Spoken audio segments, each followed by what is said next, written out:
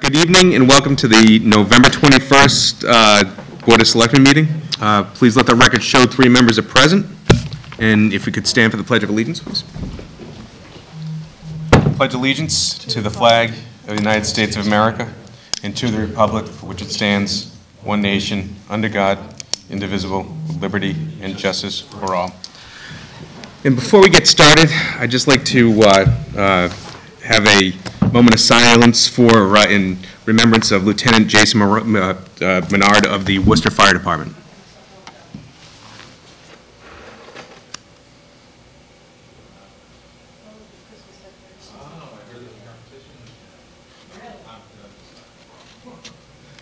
Thank you very much.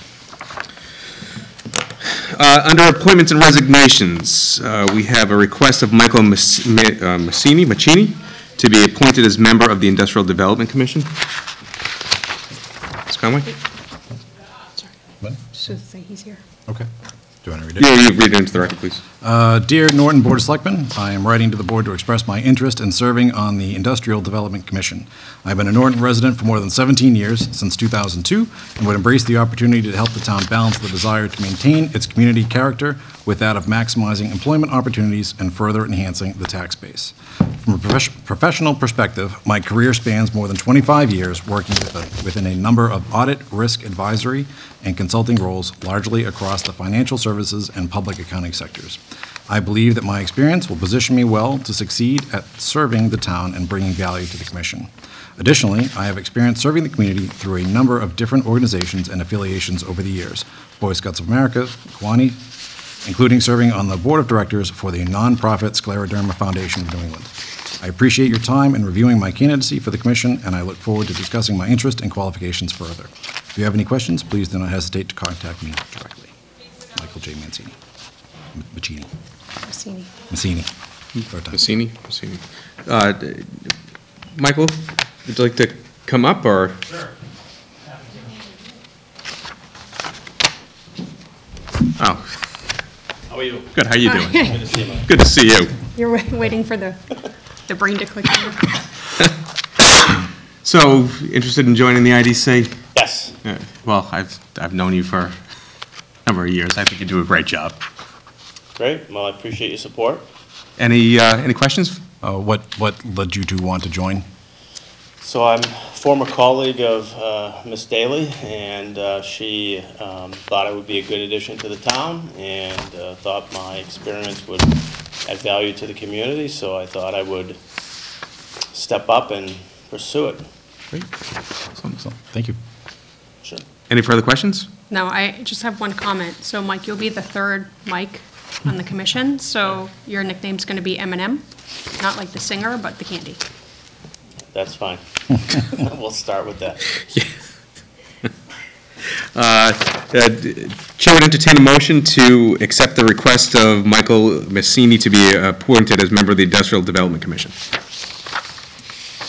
So moved. Second. Motion and second. Uh, Any further discussion? All those in favor? Aye. Aye. Unanimous. Congratulations. All right, Thank you very much. Thanks for coming in. Mike. Appreciate the opportunity. Thank you. Okay, we have a request of uh, Sandra Allerhead to be appointed as an alternate member of the Industrial Development Commission. Uh, Dear Norton Board of Selectmen, I am writing to express my interest in serving as an alternate on the Industrial Development Commission.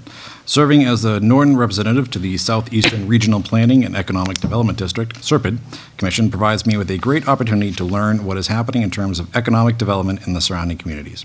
Over the past year, I have learned about topics ranging from the latest news, regulations, and challenges from the Cannabis Control Commission to hearing from communities looking to make broadband a municipal utility.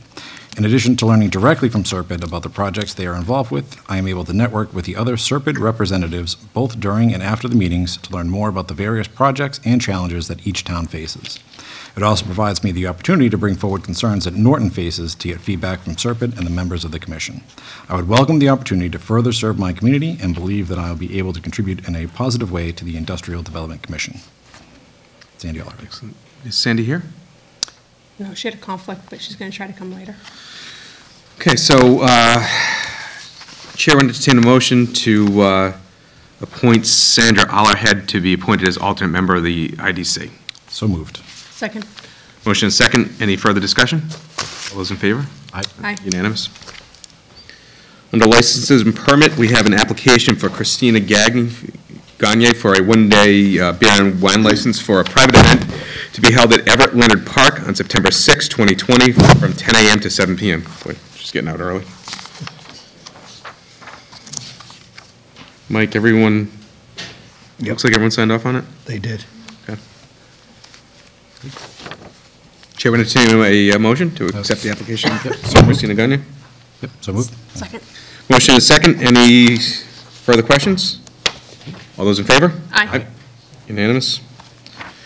Application of Ann Du- Dubuque for a one-day all-alcohol license for a private event to be held at Everett Leonard Park on August 2, 2020, from 12 noon to 6 p.m. Uh, Again, looks like everyone signed off on this one as well. Uh, Make a motion to approve the application for a one-day liquor license for Andy Buck. Second. Motion is second. Any further questions? All those in favor? Aye. Aye. Unanimous. Okay, so now, um, I don't think you guys have done one of these before, so this is a a bit of an experience. So we're going to vote all the liquor licenses, all the, uh, all the business licenses for 2020. Uh, Looks like All this the in ones that have been returned so all the ones that have far. been returned so far, yep. This is what it looks like in the packet. So the way we've traditionally done these is we each take a page. The acronyms to the right are, there's a table at the top of the first page. So, and what we're going to do is we're going to vote page by page. So we'll read each one into the record and then vote for the entire page.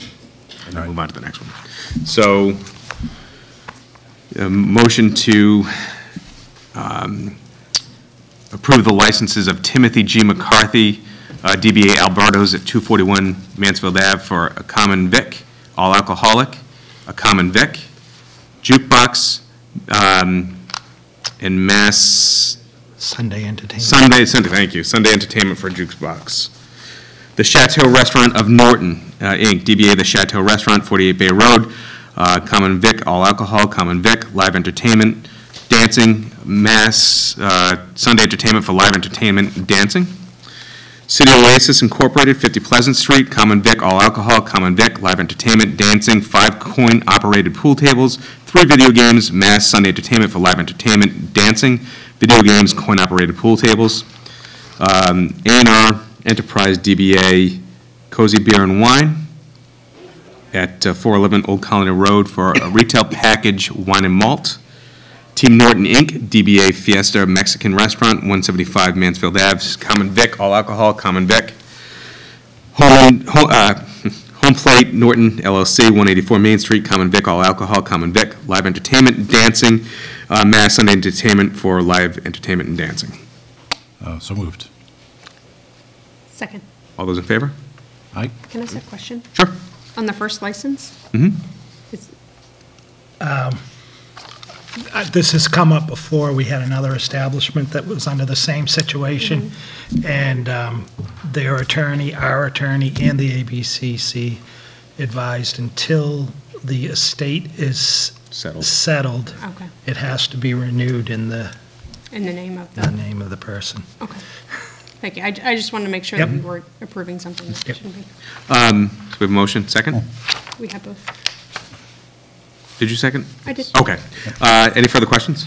All those in favor? Aye. Aye. Page two. Thank you. Make a motion to approve the 2020 renewal for the following. Uh, Zhang and Chen Incorporated, doing business as Jasmine Garden, 113 Mansfield Avenue. Uh, Common Vic, all alcohol, Common Vic, live entertainment. Kelly's Place at the Crossing, Inc., DBA Kelly's Place, 292 East Main Street, for Common Vic, all alcohol, Common Vic. Mac and Waltz, Inc., 363 Old Colony Road, Common Vic, all alcohol, Common Vic. J. Laxmi Corp., DBA Mass Gas, 62 Mansfield Avenue, uh, retail packaging, yep, retail packaging.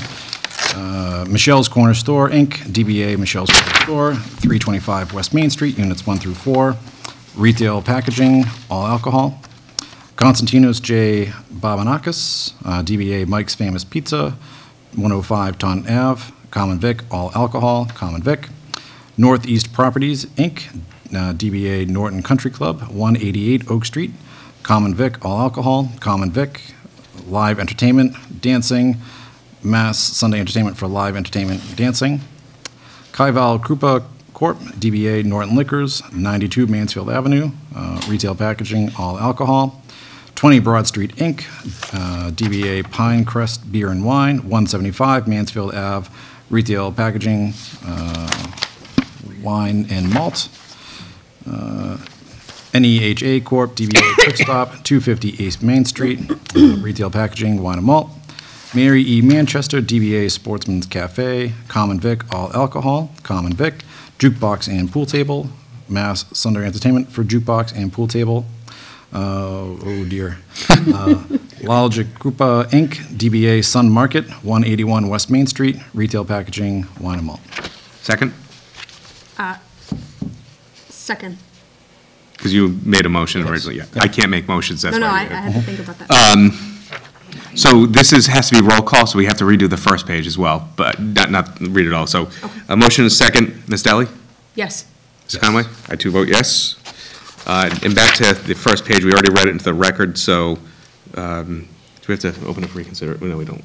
So, Ms. Deli? Yes. Ms. Conway? Yes. Two vote yes, there too.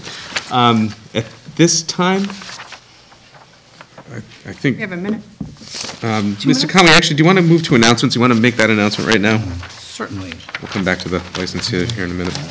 Uh, The announcement for today is the Festival of Lights on Norton Town Common. Come and be merry.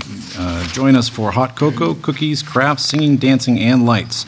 December 8th at 5 PM. Uh, Sing holiday songs, write letters to Santa, and see the Common light up with a very special visit by Santa and Mrs. Claus, uh, with special thanks to Bob Kimball, Chartley Garden Club, Norton Community Lions, Norton Fire Department, Norton Girl Scouts, Norton Singers, and On the Bar Dancers.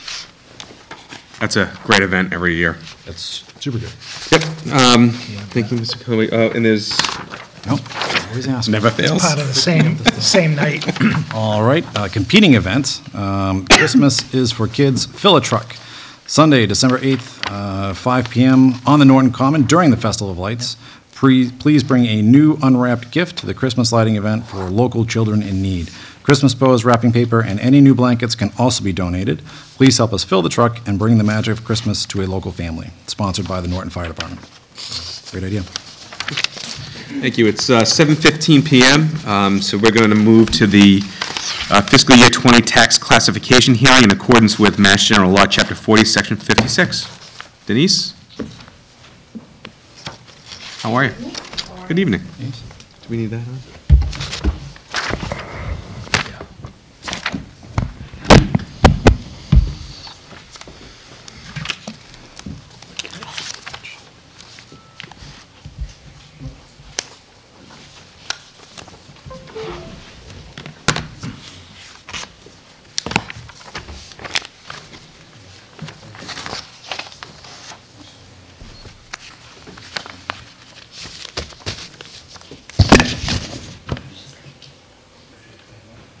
You're up.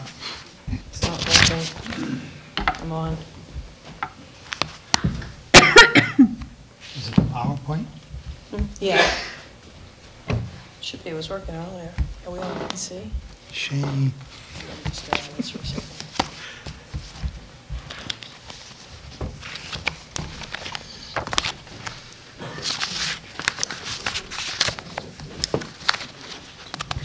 Yep.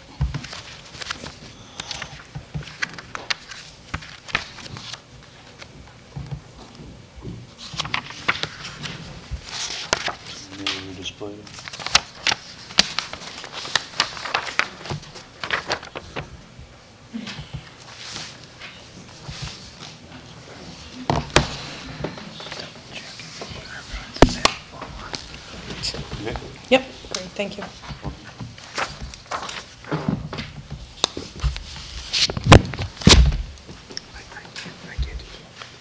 Great, thank you. Okay.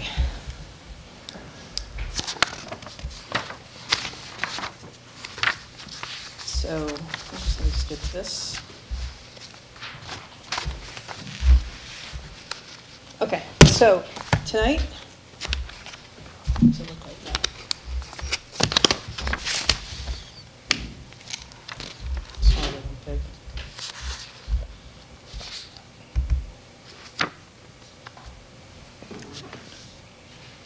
go. Okay, so tonight, um, we're doing the classification, classification hearing, and presented by myself, Denise Ellis, Director of Assessing, and Board of Assessors, James Riley, Karen, and Cheryl Ann Senior.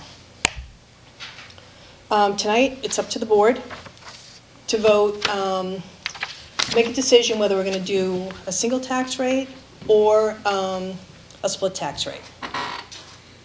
So what what would happen is you would shift the burden from the residential to the commercial, industrial, personal property. Okay. So tonight you need to decide if we're going to do a single tax rate, a split tax rate, also decide about a minimal residential factor, small commercial exemption, and a residential exemption. And there are five um, classes for classification. We have residential, open space, commercial, industrial, and personal property. And right now, for residential, we're at 82.54%. Commercial is 6.13, industrial is 8.63, and personal property is 2.7. Open space. Um, If you're not familiar with open space, no one in the state really uses open space. Um, We don't have any in Norton, as far as I know. And if we did have it, you could um, do a maximum exemption of 25%. But again, we don't have any in Norton, and as far as I know, there might only be one um, town in the state that does have open space.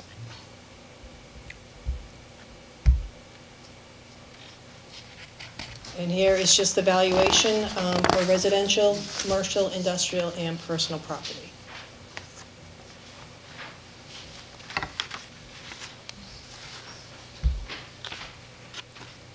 So the tax rate this year, if um, you do a single tax rate, will be $14.81, which is down, last year was $14.90 per thousand. I'm sorry, what was it last year? Um, $14.90.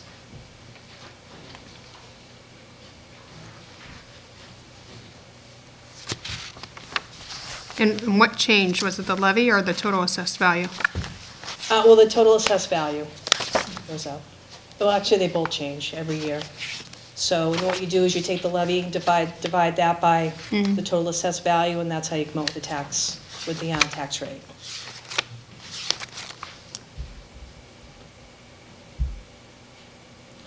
So last year, the average single family was 356,033. This year, it has gone up to 372,090. Okay, with an increase um, of about $200 for the average single family. Commercial is going up um, about $2,100 from last year. And again, this is the average. Sorry, Denise, is, is that the average assessed value uh, for the single-family homes? Yes, Okay. about the average assessed value.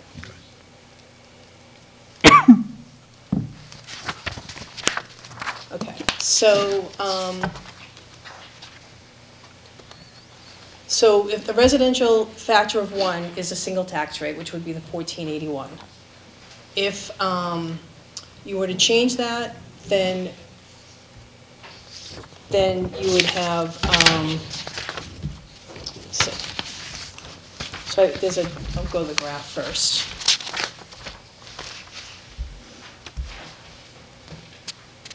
Actually, I should say, what is the shift? So shifting the tax rate moves some of the burden of the monies, again, from the residential to the commercial, industrial, and personal property. It, it doesn't mean that um, we, we we assess the, or we charge a higher tax rate for the commercial, industrial. And um, so the money's not gonna change, we just have to shift it. Okay?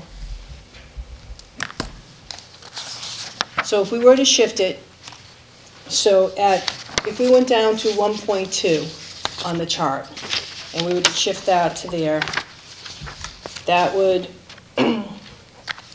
bring this, this for a split tax rate, if you wanted to do that, the split tax rate for the residential would be fourteen dollars and eighteen cents. And then for the commercial, um, industrial and personal property, it would bring up to seventeen seventy-seven.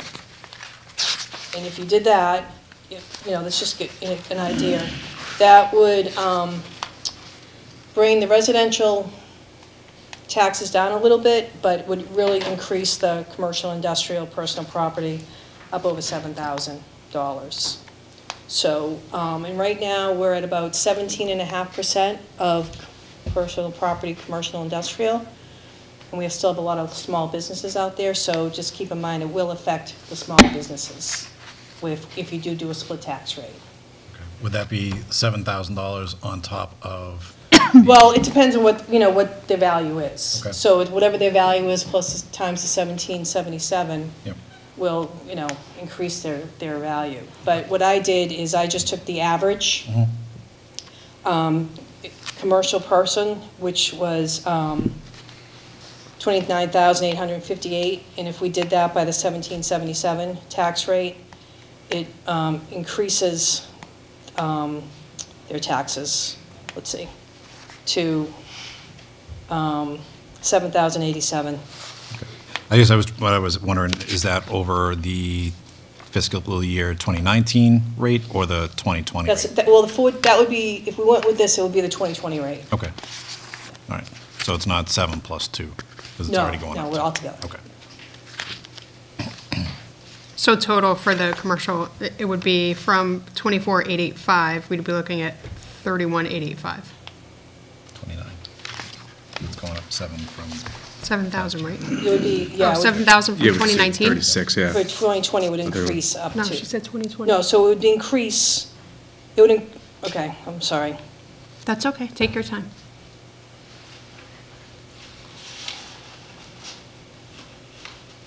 It would be, so it would increase, um, if you split it, it would increase the,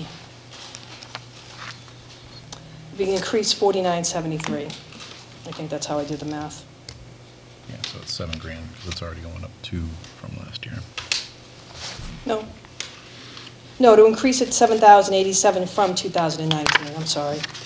Okay. my Okay, notes. So, yeah, it would- it would increase it. If you split it that way, it would, go- it would increase it over almost $5,000 to what it would be if it was just a single tax rate. Great. from last year. That's at 1777, you said? Yeah, we did that. So the 1777 rate would be, Yeah, so it was 1777 at the average um, commercial rate of 29,858. I think I Right. had to come out to 7,087 for the taxes. yep. For the year. So it's- 7,000 over last year, Yeah. five, uh, 5,000 almost on the, yeah, almost on the number from, Right. Okay.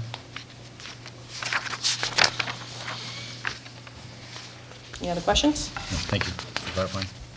And then I just did a couple of graphs. uh, Well, yeah, there we go. So I just did a couple of graphs just showing you how um, the residential has been slightly decreasing every year, but the commercial, industrial, and personal property has been going up. Especially industrial, that's been going up um, a little bit every year. The other two are pretty, pretty level. So this is just a chart showing you that. Another pie chart, just kind of give you a better visual of what it looks like. So then we have the small commercial exemption. This is for properties, for businesses that have no more than 10 employees, and it's certified by the Department of Employment and Training. Um, As far as I know, we don't have any of those in town that I'm aware of. Okay. We don't have, we don't have any small businesses with less than 10 employees? We have them, but um, it, it has to be, um, I have to go back on my thing, hold on a second. Oh, it's, is it because of the one business in the building could not qualify unless every business qualifies? That, that's what on them, yes. They have to be certified by the state to be, to qualify.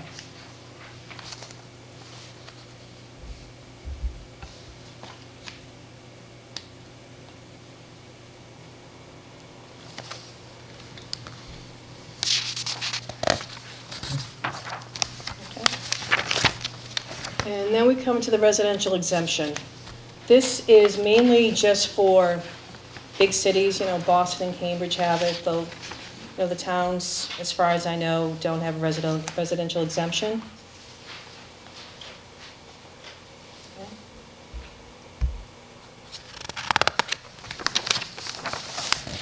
So the things you need to consider tonight is the selection of a minimum residential factor, and if you're going to grant um, residential or small commercial exemption. So again, it's up to the, the Board of Selectmen um, to determine whether or not the tax burden should be shifted. And if you do decide to shift it, then um, you need to um, decide on what rate you want to use. That's it. Any further questions? I, Mike, I have a general question. I, I'd sent you an email about, um, the tax rates in our neighboring communities. I- you sh- you should have it. Um, That's why I was going to go over that. Um, See units, maybe? you sh- I I gave you two, two items. One um, shows the comparison of uh, the tax rates um, with the neighboring communities. And the other one shows you um, the same communities, who has a shift and who doesn't. And so Easton, who only has 12% commercial, they don't have, they don't have a split tax rate. Foxborough and Mansfield do have a split tax rate, but they're up in the 20% range with their commercial property. And, you know, we've said in, in the past that until we get up in that range, into the 20% range with our commercial property, there's not a great benefit to doing the split tax rate. Right now, we're trying to attract businesses.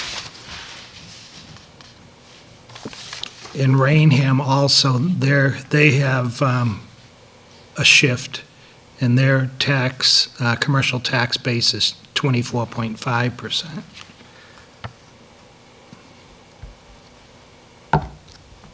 You said Raynham?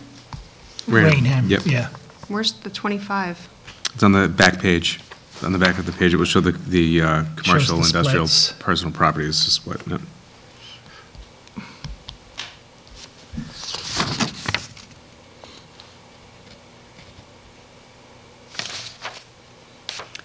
So North Attleboro closely aligns to us at 17%. We're at 16.7. And North Attleboro has a split tax rate. They do.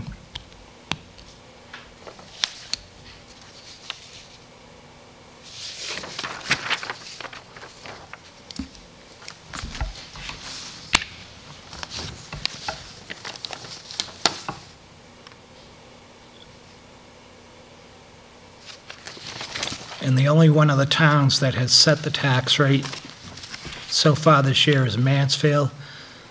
And their residential will be fifteen thirty-six, and their commercial twenty-one sixty.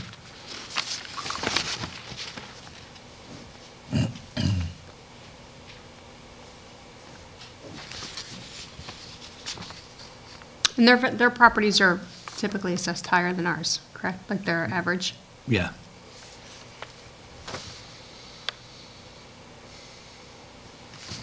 It seems like that's a very outsized burden to put on the businesses at a in- further increase of $5,000 a year, and you said it's not a, For the reduction of the residential, I agree with you. you said was on the No. lower side. Yes, yep.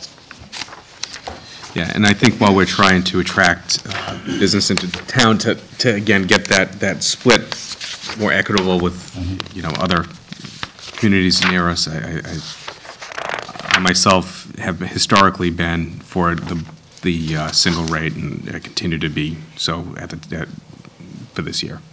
Yeah. I, I don't, I don't think I agree with that. Um, I see it, you know, Mansfield's not having any trouble attracting businesses, and they're at almost twenty-two percent. And we're, we're pretty low at fourteen point nine, and I, I certainly, um, I, I don't think that a small shift in that percentage would deter businesses from coming here. Uh, my concern would be, what about the businesses that are already here, businesses here that are Correct. small? Um, But I don't know that we, I don't feel like I have enough information in here to really see the impact of that. Do we, do, um, would we be able to see, so are you able to, to segregate the data so we can get small business versus average business? Because it it skews significantly when you have someone like Alnylam, you have some of the other larger businesses, it it will outweigh Yeah. the, the Bridgets and the, Yep.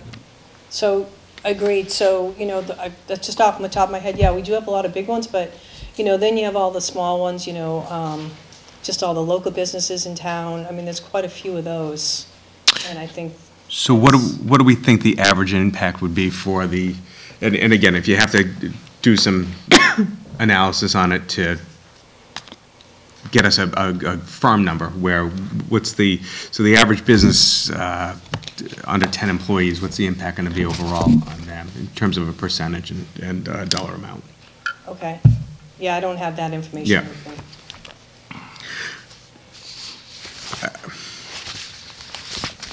And I guess my next question is, when would you make that decision? Um, Because we're getting ready to do the, the tax bills. Won't have to be before you do the tax bills.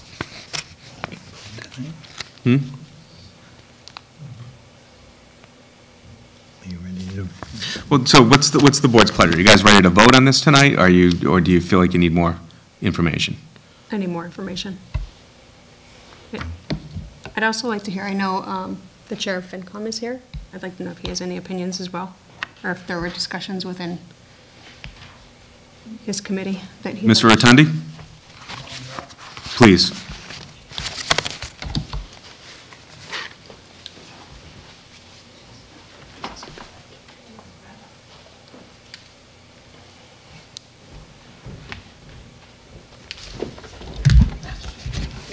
Good evening.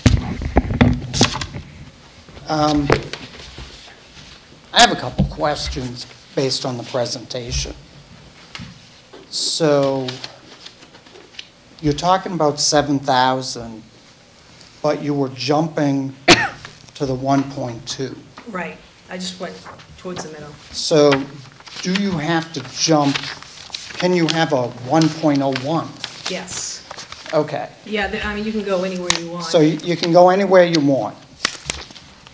Have we projected out, famous words for me, when we would get to that closer to 20% breakthrough?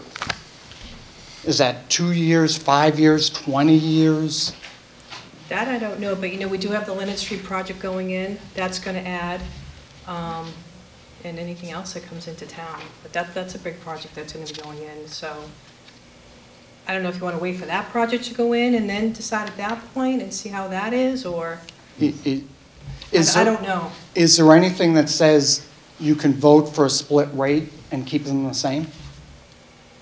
So don't that you think so. have, that you have the mechanism, but you're not utilizing it today? You, you have to vote every year. So, once the tax rate's set, it's set for the year, so. Right, but, So it- there's no value to doing what you just said. yes and no, What would the value be? that where, you know, I've been in this town 28 years. My tax rate keeps going up, my tax burden keeps going up, and we're worried about the small business, but the small business is making money. I'm not making money, but my tax bill keeps going up. I don't think the state allows us to do that, because when we put all the paperwork in for the state, there's a, there's two spots, and I think that's, it's not gonna let me put that in there. It's gonna have a red flag, and they're gonna question it. I don't think it's allowed at this point, because like Mike said, that we do vote on it every year. Right. So you, I- you can't have, it would just be one rate.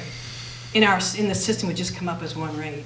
Right, but you- you're, you're basically saying, like Raynham, like Mansfield, like everybody but Easton, we have a split rate, they just happen to be the same.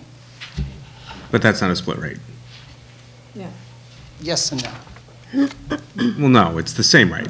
It's the same rate, but you're splitting out residential. Well, we, that- it is split out. I mean, there's, I mean, the, the properties are, the, the values are, are uh, assessed in separate buckets. So, I mean, the values are split out, but in the, but the rate's the same. It's, it's, Right. it's a blended rate. But again, that, based on the presentation here, we were jumping to a $7,000 increase when it could be a $100 increase. Right, that's the average, so of course it's gonna be below and above that. So, no, I, I mean, you could go to 1.05, which will not make an average of 7,000 increase. It could make 3,000. So, uh, it's really, the- to me, the question is, do you want a split rate or not? You don't have to jump to the 7,000 and make it that much different than it currently is for commercial and industrial. You can make it a lot smaller, but still have it split. So to me, it's really a philosophical question. Do you want the same, or do you want to now split it out? If we, if we can't really indicate, again, a year, five years, 10 years, that we're going to get to that magical 20%, then I don't know what else to say. So I did do the math on the 1.1 uh, factor, and that shows an increase of uh, $4,500 over the 2019 rate, so In a, in a decrease in the residential of 100 and, 115 bucks. That's the one point one you did? That's the 1.1, yeah. So I, I was looking less at that and more at um, the actual rate, right? So if, and I'm just going to use North Attleboro because they are close to us in the percentage um, of commercial. Um, I mean, I, I don't know that I would even go that high initially. I almost find like somewhere in the middle, like from, you know, 14, 14.9 to like 15.4, 15.5, like not a, not a big uptake, and I don't know what that would be, if that would be like a 1.05 increase or 0.05, I, I don't know what that would be, but, um, that certainly would, I think, from a perspective of looking across at the commercial taxes, with the exception of Rehoboth, we're still competitive, right? Easton, um, would still be higher at 15.96. And all the others are in 17 and a half, 18.67, I mean, they're- high. Right, but I think it allows us the opportunity to have a split tax rate, reduce the burden minimally on residents, I think increase any burden minimally on commercial, and still, still be below pretty much everybody except Rehoboth. It's my two cents. I mean, it's, it's a competitive factor too. Right, So if we're still below competing towns, then is a small business going to say, oh, you just increased my taxes, I'm, I'm out of here? Again, residential taxes go up every year. I don't know a lot of people who go. "That's Except the enough." rate's going down this year. Uh, but your tax bill will go up, because your assessment will go up, so. um, I don't know a lot of people who say, oh, I'm out of here because my residential tax rate or tax bill went up. I'm, I'm not a, you know, I myself am not advocating to, you know, put too much burden on commercial or industrial, but I don't see the harm in a split tax rate with a very incremental difference.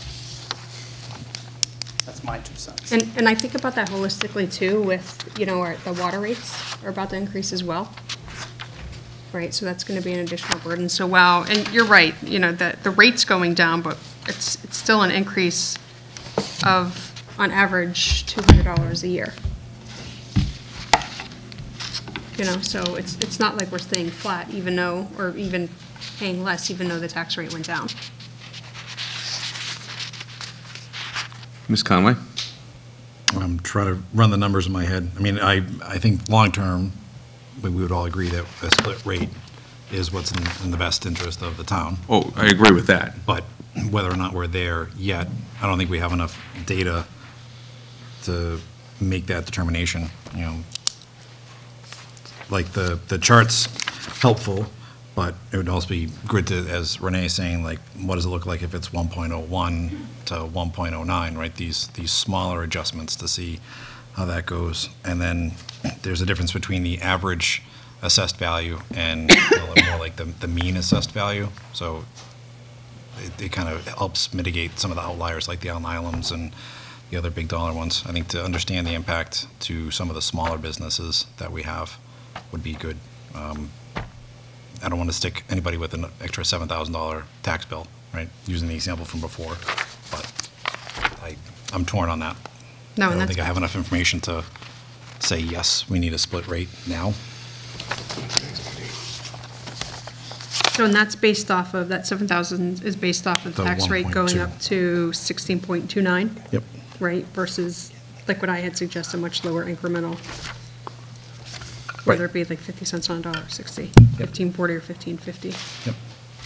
So is it, is it possible to get that additional data? I mean. I can run, go run up and run, run the chart for you, so you'll have the chart, and s- like, for all the numbers. Yeah, I can do that right now if you like, if you'd like. That would be, Yeah, that would be good, yeah, because we do, uh, yeah, no, it's unfortunate that uh, we're seeing this for the, for the first time tonight, and with the tax bills do have to get out. That's, so if you wouldn't mind. Yeah, I can running run that, up and do it appreciate now. yeah. Just, you just want the chart of what, what I gave you, but all the numbers on there? Yep. Correct?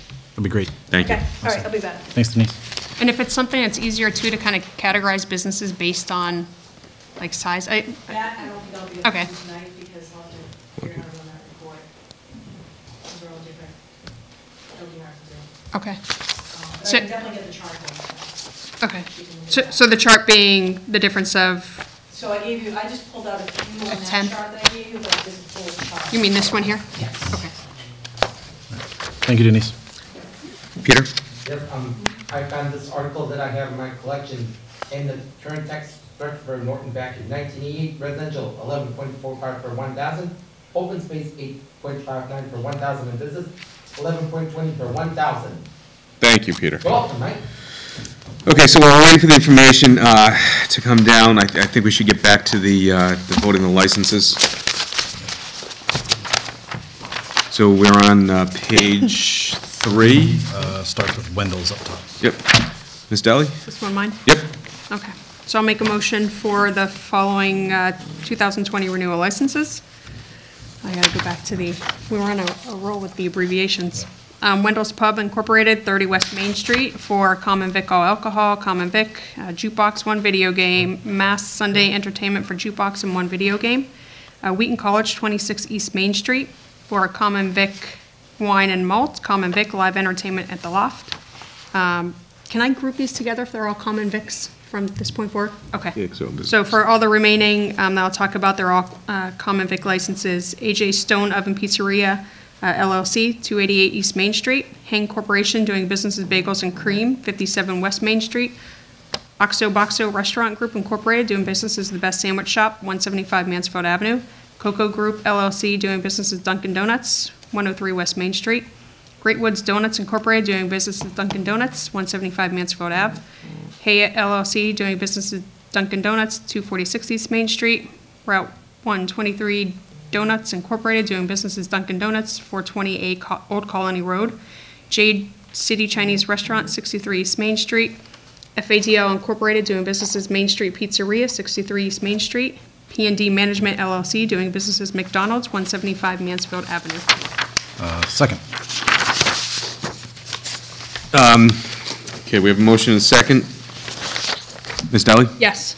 Ms. Conway? Yes. Vote yes, so unanimous. So I am, I'm, oh, I can't make a motion, so uh, all of these first few are, uh, actually, Norton House of Pizza, uh, 57 West Main Street, Common Vic, Speedway, number 2 2411, uh, 125 West Main Street, Common Vic, Norton Subs, Inc., DBA Subway, 130 Mansfield Ave, Common Vic, Swamp Donkeys LLC, uh, 113 Mansfield Avenue, Common Vic. Make a motion to approve based on that reading? And second? Ms. Daly? Yes. Ms. Conway? Yes. Two vote yes, unanimous. Um, Colonial Motors, Inc., uh, 380 Colony Road, a Class 2 used car dealer's license. Ed's Auto Repair, Class 2 uh, used car dealer's license, um, at 16R Samoset Street. Fogarty Enterprises, a Class 3 motor vehicle junk license at one- at 97 Oak Street. John Freeman, DBA Freeman's Garage, uh, 29 Ford Road, Class 2 used car dealer's license. Um, John Freeman is on there, oh, no, uh, John Freeman, DBA Freeman's Garage, 29 Ford Road, Class 3 motor vo- uh, motor vehicle junk license. Midway Collision Center, Inc., 85 Mansfield Ave, Class 2 used car dealer's license. Midway Service Center, Inc., 92, that is on, oh, no, Midway Service Center, Inc., 92 East Main Street, Class 2 used car dealer's license. Platinum Auto Sales, uh, 145R West Main Street, Class 2 used car dealer's license. Quality Van Sales, Inc., 349 Old Colony Road, Class 1 agents or seller's license for the sale of new motor vehicles. Signature Bus Sales LLC, 347 Old Colony Road, Class 1 agents or seller's license for the sale of new motor motor vehicles. Uh, So moved? Second? Ms. Deli? Yes. Mr. Conway? Yes. Okay, Unanimous. And then Trans International Autos, Inc., DBA Route 123 Motors, 406 Old Colony Road, Class 2, uh, used car dealer's license. So moved? Uh, se- uh, second? Ms. Deli? Yes. Ms. Conway? Yes. And Lodging House, 8 Pine Street LLC, Peter G. Berg, owner, 8 Pine Street. So moved? Second? Ms. Deli? Yes. Ms. Conway? Yes. I two vote yes, it's unanimous. Okay, so that's, yeah, it's, it's clunky. I didn't realize how many uh, dealerships we had. Yeah, huh, just, there'll there'll be more. Okay. um, Okay. So, uh, discussion of fire department overtime? Chief, want to come on up? Absolutely. Um, Can we move the mic? Will- uh, Shane, will the mic pick him up over there?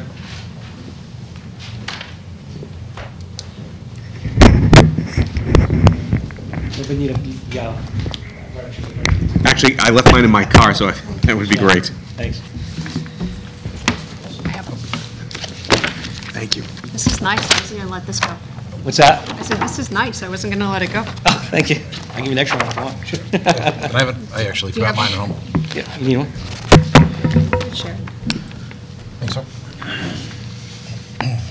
So I apologize, I wasn't able to make it to your last meeting, unfortunately, so uh, I know you- most of y'all have a copy- a copy of this. We gave all the money to Chief Clark. I at the I mean, end. I mean, I think we should have been there. Um, But I just wanted to come, come by and kind of go, I- what I was planning on doing is just going over it quickly.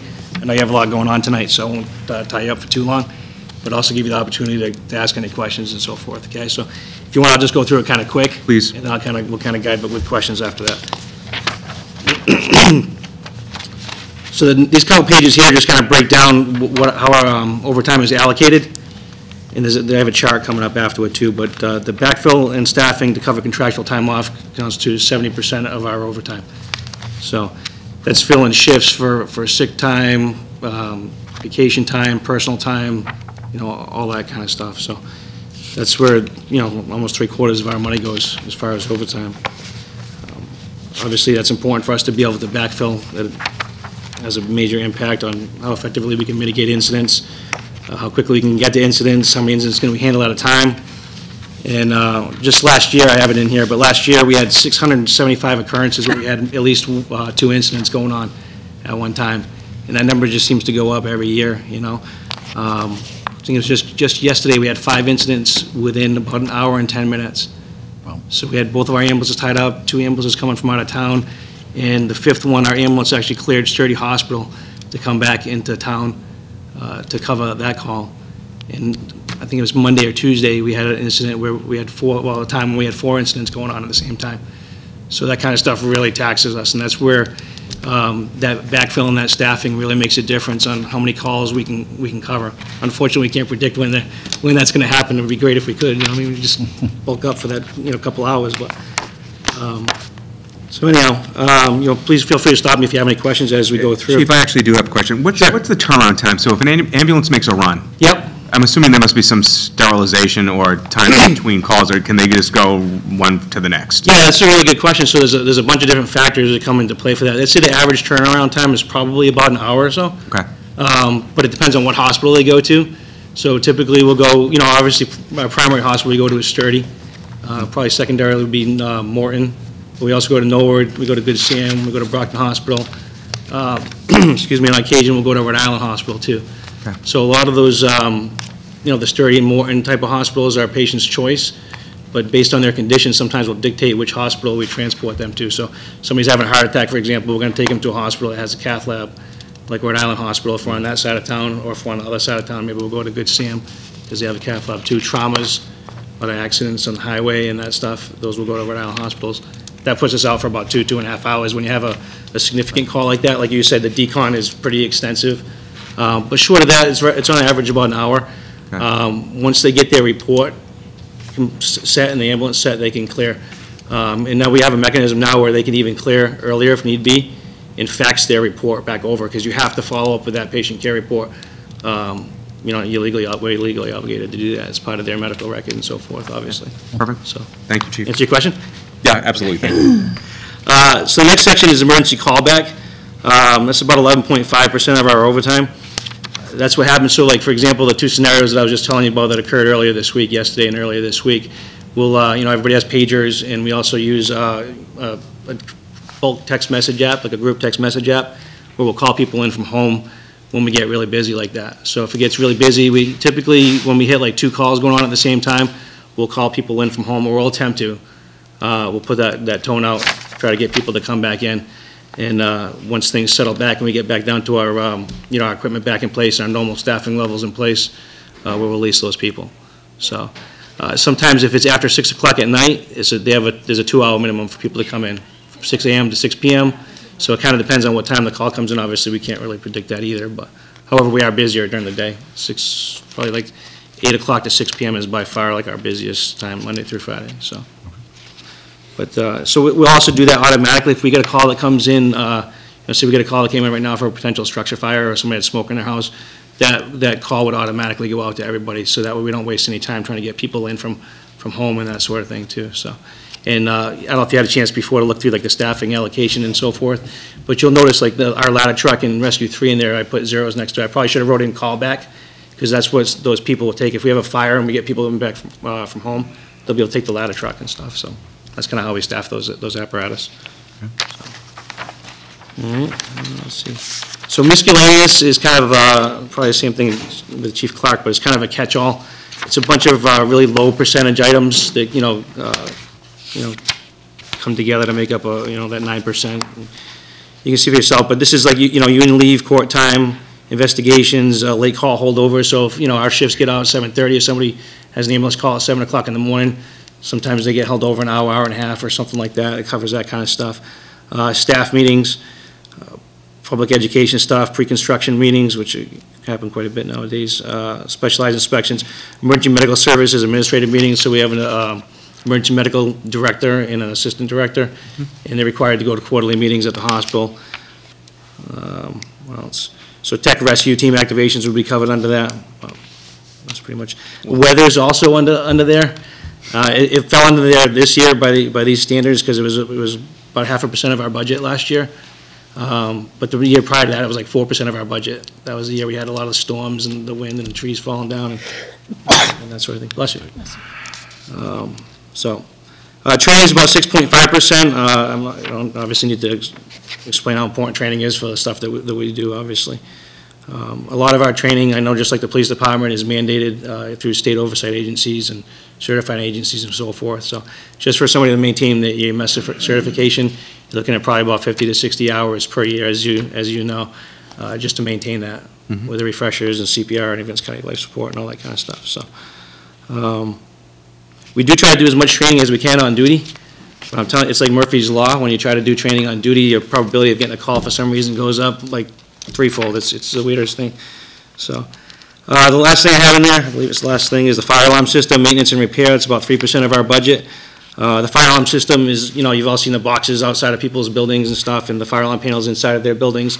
They're all tied in, uh, and hardwired through that fire alarm system that reports to the communications department, and then, uh, they dispatch us accordingly. So, that's for the repair and maintenance of that. I don't know exactly how old that system is, but um, it's definitely older than I am, which is not that old, I guess, but.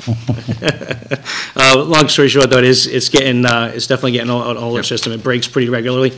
We, uh, we typically overspend that budget, and uh, just found out last week that our fire alarm truck has um, really significant mechanical issue with a, with a boom on it. It's gonna cause a lot, cost a lot of money to repair. And that boom is actually 45 years old. They put a new chassis on it in 2006, and took the old boom off and put it on that one.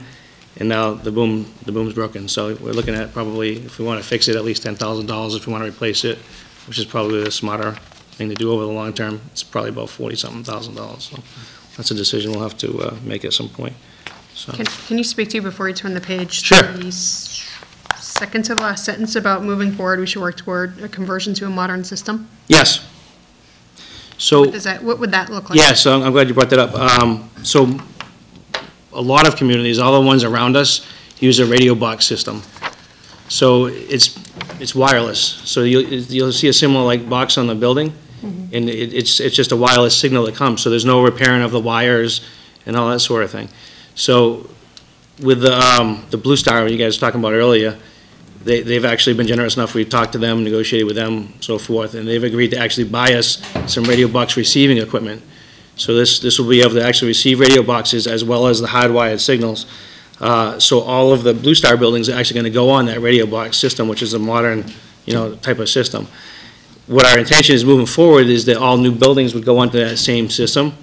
And that circuit is already maxed out that they're on anyway, so it was either that we had to put a new circuit in, or they could go over to this system and, and, you know, to their credit, that it was, they took the more expensive route, because they knew it was a benefit to, to our department, and to our town, so. I- And I I may be misremembering, but I thought that the move to the regional rec was going to take care of this for us. So the, the move to the rec, what that's gonna do, eh, they're gonna just, they're still gonna receive our boxes. They are, they have to buy additional equipment, because all of that stuff has to be uh, redundant, obviously. So they're, I wanna say they're a little over hundred thousand dollars of equipment that they're gonna need to get to be able to receive our fire alarm signals, but that's not gonna upgrade the infrastructure that's out in our, out in our community right now. Um, in, in, kind of what, um, Steely was asking, so that would be, you know, hopefully down the road, maybe that's something that we can pro- progressively look at working in. The downside is it's very expensive for a business owner to switch over to that system. You're probably looking at about six or seven thousand dollars for them to switch over, so. And that's after I talked to the person and got them to give us a discount if we did like a bulk purchasing type of thing. So the, the thought process, a lot of other places have done it over several years. So they notify business owners and say, hey, look, you know, we'll give you five years to switch over, but at that fifth year, you have the option to either go to a central station, like Brinks or ADT or something like that, or you can switch over to this system. So- Great. So, Thank you. just for, for clarity, because you just said Brinks, so all the systems right now, they ring directly into the fire department? Uh, well, yeah, kind of, they, they, they bring in the dispatch, which is office in the Yeah, police sorry, station. they're over there. Yeah, and then they, and then they dispatch out to us. So if a local business chose to not have the tie-in, they could, and they just go with a third party? That's correct. It has to meet certain, uh, certain criteria in order to be code compliant, based on what type of business it is. Mm-hmm. Uh, But if they're required to have a fire alarm system that reports directly to the fire department, uh, they have to meet certain criteria. So they have to, the, the call-taking company, like ADT or whatever it would be, they have to answer the call within so much, push that call over to us within Right. so much time and all that kind of stuff, yeah. But they can, they can do that, so. Okay, is it any cost? It's cost? a little bit of a delay. I think they might save a little bit of money in insurance. I'm not hundred percent on that. If they go with uh, the system that's directly tied to us, because it's obviously, you know, you're probably gonna save forty-five be- seconds to a yeah. minute or Uh, something. Yes, they would. Yeah, so, I- Is there any cost to the town? to switch over, it would just be that receiving equipment, which, like I said, that Blue Star has, has agreed to purchase for us. individual buildings. The No. town buildings would have a, incur a cost to switch over, obviously. Okay. But I would, I would imagine anything for town, if we're gonna do new, we would, we would do this, but, so the system that Blue Star is purchasing, is that, could, does that have the capacity to, if the entire town were switched over? Yep. Like, there's nothing more that we would have to pay? Yeah, Okay. no, best of my knowledge, I can't tell, I'm not gonna tell you hundred percent, that's not my, or specialty specialty, but I don't, I don't believe we'd have to purchase anything else. Okay. And that's where the rec, a lot of the rec equipment would come in. Yep. As well. Once we have that one module, it- it's going to receive it. So we'll eventually reclo- relocate it from uh, the communications department into uh, the fire station in the basement. So, Thank you. okay. Uh, The next thing I won't get into, it's just a graph that I made there for you, makes it a little bit easier, breaks it down a little bit more. Um, The rest of it is just reference materials, staff and allocation chart for you, if you want to take a look at. And then at the end, I just put additional information, uh, in case you're bored someday and you want to look up some more stuff about fire department operations. Um, But there's a lot of really good studies out there. These are, these are a few that I found that that were pretty good. They actually talk about overtime, we- they talk about staffing needs, uh, talk about efficiency, uh, and and a lot of stuff like that. The New Rochelle one's really good. I think the Ellington's probably the second best one. I was just looking at one from Phoenix the other day, it was pretty good. Um, This uh, NFPA standard 1710, so NFPA is, excuse me, that's the codes that we use for the the fire codes. You probably all heard the name before. 1710 is the deployment and uh, suppression operations uh, standards for fire departments. So that's where they talk about response times, they talk a lot about staffing and that sort of thing. And um, just to kind of give you some, it's it's very difficult to meet all of the NFPA standards. They, they recommend uh, four people on each piece of apparatus, which we, we obviously couldn't, couldn't do. Uh, And they also recommend 14 people on duty to respond to uh, an average 2,000 square foot house fire. Uh, Is that, that's the national standard to respond to. 14 people for one house fire? Yeah, for, for a 2,000 square foot house fire. And they have it, I could show you sometime if you want to, but it's all broken down into, into what they do. But there are a lot of things at a house fire that have to happen. Obviously, you know that, but then they have to happen, you know, in coordination with each other. It really makes a difference in the timing, of a lot of those things. So obviously, you know, we can't afford to have 14 people here, we all, we all know that. So we rely a lot on mutual aid to do those, some of those tasks. And the incident commander that gets there makes the decisions on, you know, we know that there's, you know, five things that we need to do. We can probably do two, maybe three of them, depending on what they are. And, you know, their task was making that, making that decision and relying on mutual aid to do the, the remaining tasks or the callback like we talked about earlier. So, but there's a lot of good information out there. Over these, there's a good study for NIST with uh, firefighter efficiency. Uh, NIST has a lot of good things with fire, fire behavior. Um, FM Global has a lot of good things. Our insurance company, actually, VFIS, has a lot of good resources and information for, uh, for fire stuff and safety and injury prevention and that sort of thing, too, so. Um, Hopefully that answers some questions for you, gives you some No, information. it's- yeah, I appreciate the report. It's a lot of good information in here, and, you know, thanks for taking the time to do so. If, uh, if I forgot to mention something, y'all feel free to reach out to me, contact me, stop by anytime. Excellent. Can can I ask you one more question? Sure. Because Mhm. it might be in here, but I didn't see it. What's the total, um, total percentage of overtime against the entire budget? Uh, it's about sixteen percent for the, uh, for the personnel services.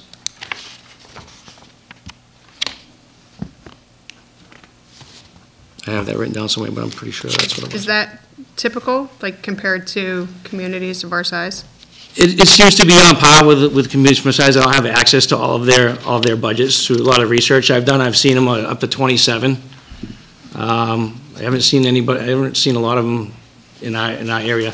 If, the, the information that, that I've been able to read, they show that, uh, like for a business, their objective is to reach ten percent.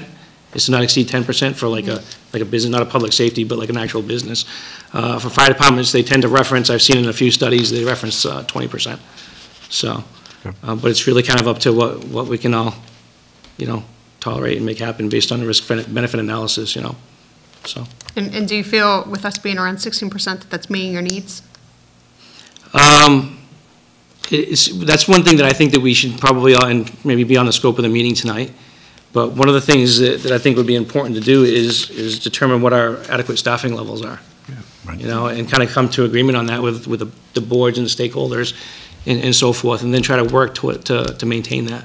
And set out a long, long-term plan to maintain that and anticipate any obstacles and so forth. Um, there's a lot of good, uh, I'll try not to, you might have to stop me from talking if I keep going. Uh, I did find an interesting formula, I have it in here somewhere. Um, But it's a, it's a way to, it's a nationally accepted formula, and it talks about setting the staffing levels and um, maintaining additional personnel uh, to do that. So, you know, based on this formula, the coefficient's 5.2, based on one 24-hour position, so you multiply that times how many positions you want to have. So if you had, if you maintain seven positions, that would come out to 36.4. Obviously, we can't split somebody in half, so we'll say 36, right? Uh, Right now, that's about where we're at. We have 36 people, well, on, on paper. Um, And if we wanted to maintain eight people, which is what I would recommend, we need technically 41.6, but 40 would probably be the number that would work for us. That would give us an additional person on each shift. So, and that would give us that little bit of uh, flexibility with that, with that overtime. So if we had somebody out hurt or somebody off on vacation, we could go down in one or two positions and kind of stabilize that, that overtime usage and make it a little more consistent. I mean, obviously, we're still going to need overtime. Right. Even if we hired people, you know, they, they end up getting vacation days and, you know, they get pay increases as, they as they go on and stuff And too. so. and Chief, not to, I don't want to open a can of worms, certainly, but uh, in order to, the- what, what what I've heard for a number of years is to get Charlie open and sustained, we need an average of nine on duty, is that correct? So, so I, I think it's appropriate for us to have eight on duty to run, to run that station. So, right now, we have nine people, like I said earlier, on paper. Unfortunately, four, as you all know, right, uh, people at home might not, but we have four people that, that are out. We have, we have three, um, on-the-job injuries that have been long-term. Uh, we have one person that's getting ready to retire, uh, mid-December, and they've been on leave of absence for quite, quite some time now. Um, the long-term injuries have been over three years. They're both in the process of, uh, of retirement right now. Unfortunately, that process takes, uh, Yep, a year, as you understood. guys know, from start to finish on average. Yep. You know, uh, so, so to, to what- to your question, I guess, is we, we have no shock absorber right now. Right. We're, we're basically have eight people on every shift.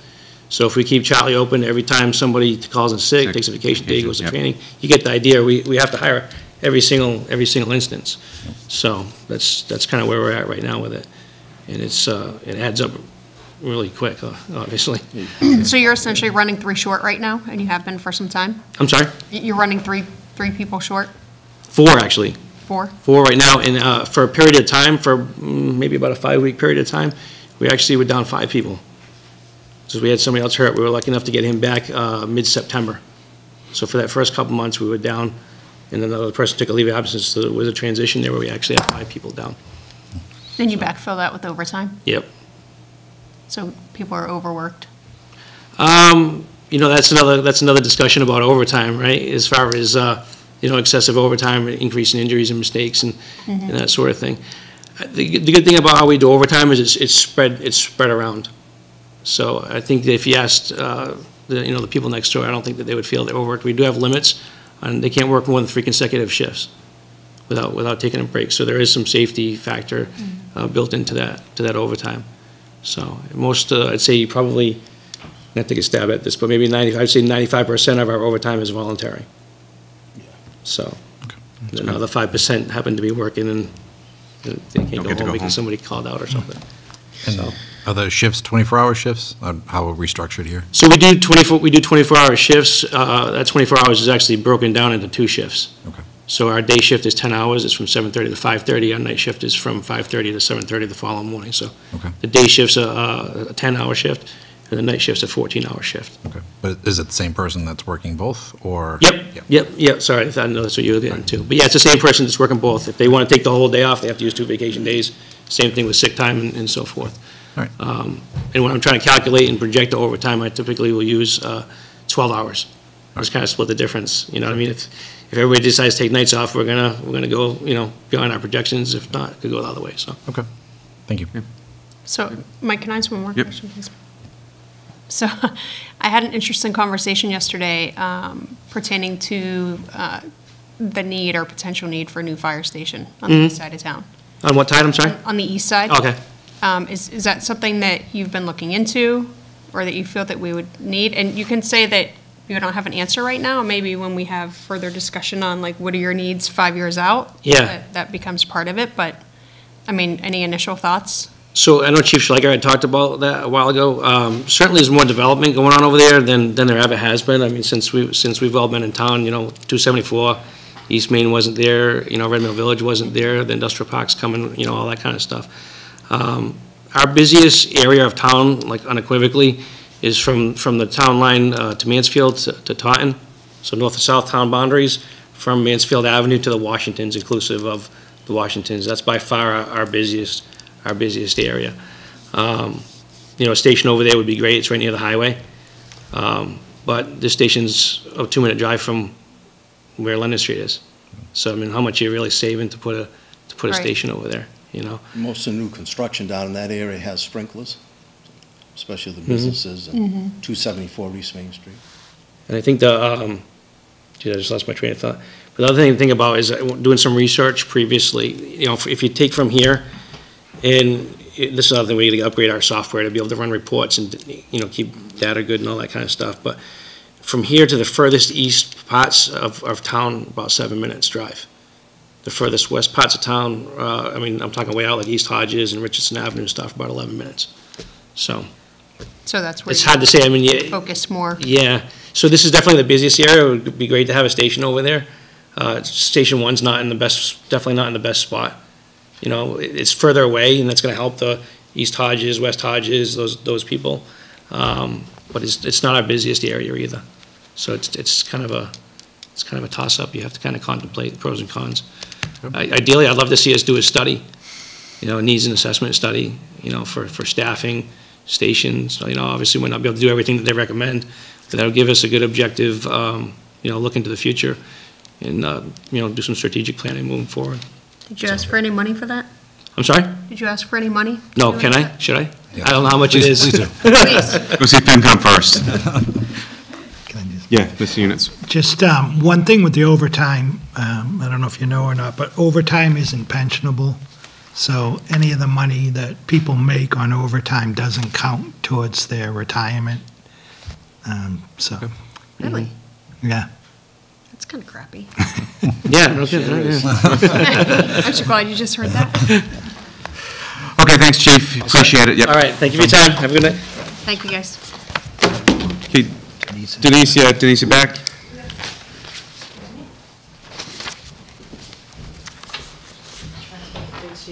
Oh, wow. Love my Yes, to 17, share. I like it. There you go.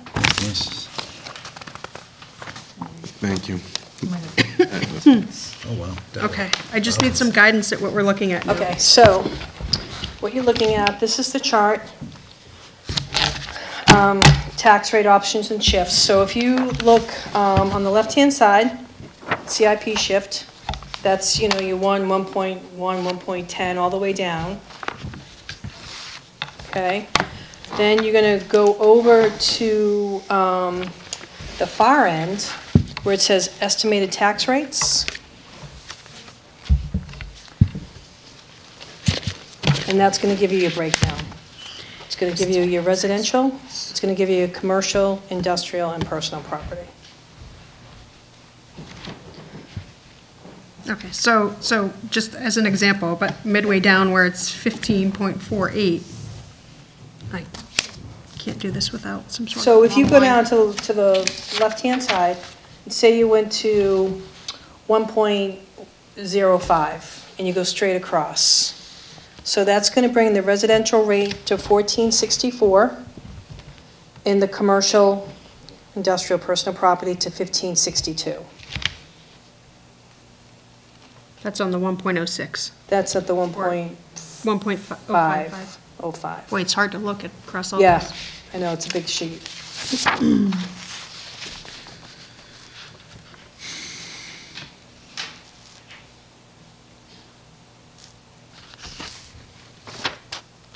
And this gives you every possible scenario, you know, if whatever tax rate you wanted to go with.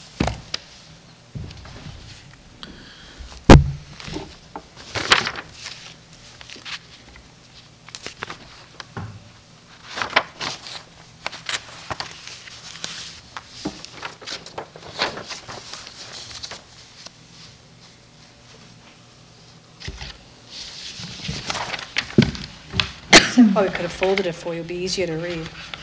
I think this is great. This is, thank you.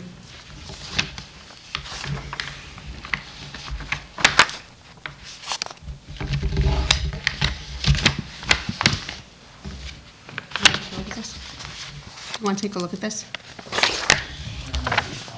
No, but I can, I can look at Jack's. Right, you don't mind, do you? Yeah, sharing means caring.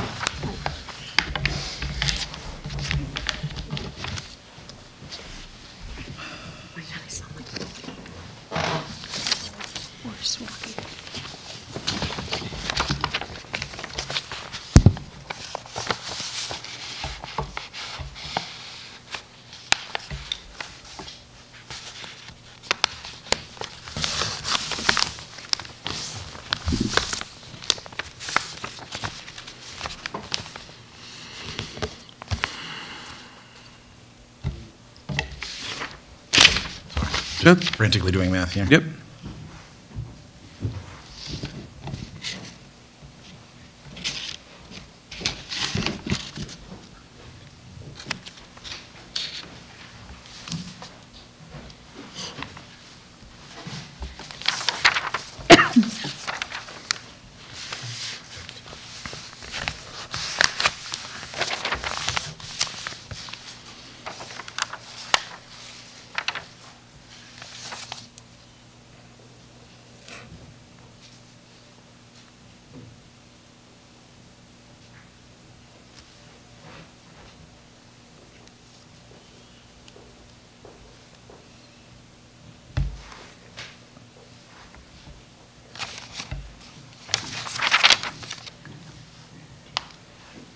So for every tenth of a, hundredth of a point, it goes up 250, 250? yeah. Ish, and That value right there. that one. Mm-hmm.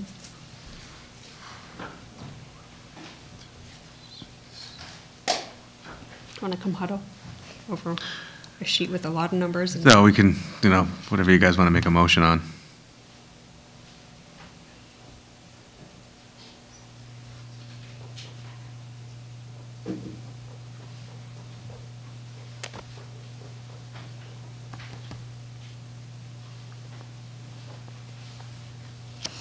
Yeah.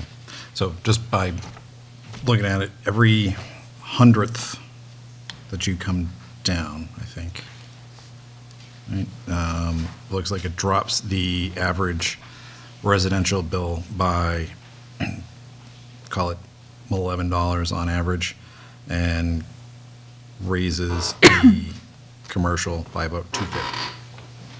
So, Yeah, I- you know, I just don't think at this point the, the lift is worth the the burden. I think it would have been nice to have So the lift on the residential uh, uh, is worth the burden placed on the transfer to the commercial. So the, the transfer is 250, right, for every additional, yeah, tenth per hundredth. Hundredth? per hundredth. So like, if we gave it, moved it to 1.01, it would go up $250 more than the present average. For the residential savings of 11. Correct. Yep. So 1,000 per, is that a 15? Yeah. 20, 35, 47? Mhm. So a 1,000 increase on the commercial side and a $50 Like a savings 20 on to the 1. residential side. So like a 20 to 1 shift. Shift. So, I mean, I, given that it's, it seems like less of a burden for the commercial, I, I'm still in favor of a, of a split. I think it's, um, you know, and, and again, I'm looking across the communities, like, I, I think it's, it's in our best interest to do a split. I think that it still keeps us competitive from a commercial perspective. It's not overburdening, but it allows us to start moving in the right direction. Okay. Um, That's my thought. I, I don't think I have enough information to, to comfortably make that decision. I think if we had this uh, a few weeks or a month ago, and we could have some discussions and work with Denise to get some, some various data points about the impact to some of the smaller businesses, um, like, I'm, I'm almost there, like, definitely, I can see the value, but I don't think I have enough in front of me to justify making that decision. Yeah, I mean, I, I do think that ultimately, we, we do need to get there. I, I just don't think that the time is, is right now. I think we're closer than we have been in a long time, Yep. and, um, but I just think that the, the, the, what we're saving on the residential on average is, is not enough for the, um, for the, uh, the burden placed on the commercial. Yep. Uh, it- anyone in the audience have any? Mr. Cross? I mean, Mr. Riley, Jesus, Cross Real Estate, I got, you know, getting stuck in my head. The marketing's working. Yeah, see? Yeah, free plug, right, for the two people watching. Riley. Uh, So I am Chair uh, of Board of Assessors, uh, but I'll also speak um, uh, just as an individual, so I'm not going to make a recommendation to you, it's obviously your decision. Um, maybe to help you with some ideas on how to make a decision. It is helpful for us to look at our neighbors and see what our neighbors are doing. Um, My profession, as he was mentioning, is a real estate broker, so people all the time come to me and they say, well, the tax rate in Mansfield is this, and the tax rate in Foxborough is that, and the tax rate in Norton is this. It means nothing. It means absolutely nothing. If your tax rate is fourteen ninety and someone else's is seventeen ninety, it doesn't mean anything unless you look at what the property is assessed for. Because that number by itself, we can't say, well, we're, we're trying to be competitive with them, uh, because we don't have any control over setting that, that's gonna be done by the state. What, what you have to do is multiply it by what the property is assessed for. So our properties in Norton generally are assessed less than the properties in Mansfield, which is just generally assessed for less than the properties in Foxborough. So as you go closer to Norton, the values of the property would, would go up. So I think as a town, we have to decide what we want to be, and it is, it is helpful to look at other towns, but let's not make our decisions on other towns. Now, somebody like Foxborough has a stadium. That's going to impact, their value. We don't have a stadium. Mansfield has a train station. We don't have a train station. So we really have to say, what are we as a town? I, I think the suggestion of saying twenty percent, that's a pretty good range before you make a shift. Now, you just finished reading off all the businesses in town that have liquor licenses. Any of those businesses that said DBA, by definition, they're, they're a mom and pop, and I say that affectionately, uh, business. So their house will be lowered in terms of its taxes, but their business that's right next door is gonna go up. So th- that, that person is gonna get hit as, al- along the same time having a savings. Um, So I think we would have to look into the camera and say to all those businesses, if we do a split, you people, we are going to raise your taxes as of tonight. We're making that decision. And I think it's valuable to say that I don't have enough information. I think, I think that's a good point and say, rather than say tonight's tonight, that we make the shift. And once you do a split shift, you no longer are a business-friendly town. You are saying that if somebody looks at our town, they anybody business comes to town, they're gonna say, is it a split tax rate? If it is, that means that you're trying to shift your taxes over to us, the businesses. Doesn't mean they won't come here, they're, they're gonna come here whether they come here or not, but you're just saying we're gonna be less friendly to you. The other part about making a shift is if you decide to come back, so let's say the homeowner gets only a one hundred dollar increase in taxes instead of a two hundred dollar, and you wanna shift back next year, you're gonna have to give them a three hundred dollar increase to get back to level. Once you make the shift, it is, you can come back, but it's very difficult, and then you look into the camera to all the people at home that are residents and say, we're gonna give you a really big change in your taxes, up, meaning change, to get back to, back to a level field. So I think the thought of saying, maybe if we could do a little bit more research, see if we could do a projection on where, where we are with industrial, where we are with commercial, before we make that shift, as opposed to us putting you guys under a burden tonight to make that decision and then have to, you know, scramble and say, oh, maybe we shifted a little too much or not enough. Let, let's make it with some, with some, you know, good, solid information. Um, You know, it is a lot to put on you guys on a short period of time. Unfortunately, the way the schedule goes, it's not just our department, the other departments are waiting for us. So the tax, uh, you know, collector, they're waiting to get there. So we could, you know, postpone this, but then we're gonna hold up, hold up everybody else.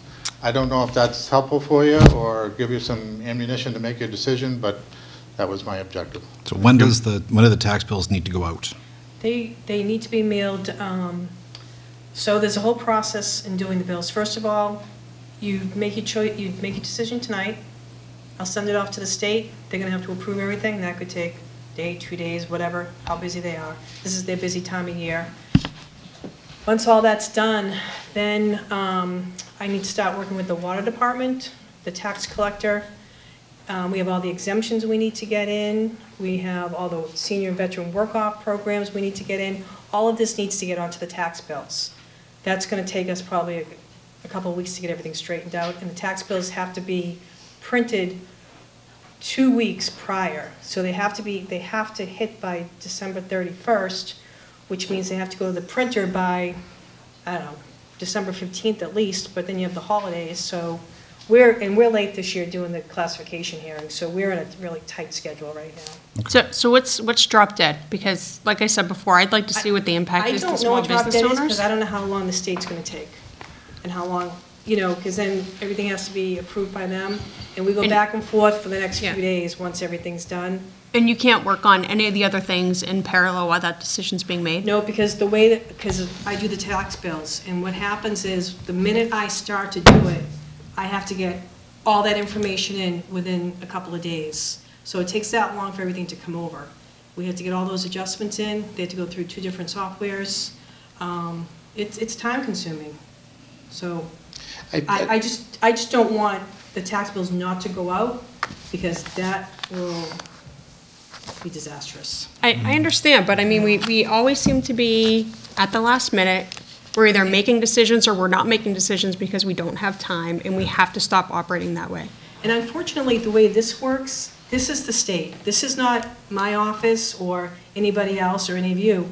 Everything is on a timeline with the state, and it's all up to them, you know, for them to approve everything. So, and I've been working with the state all year, and every, and they've actually pushed our stuff through pretty fast.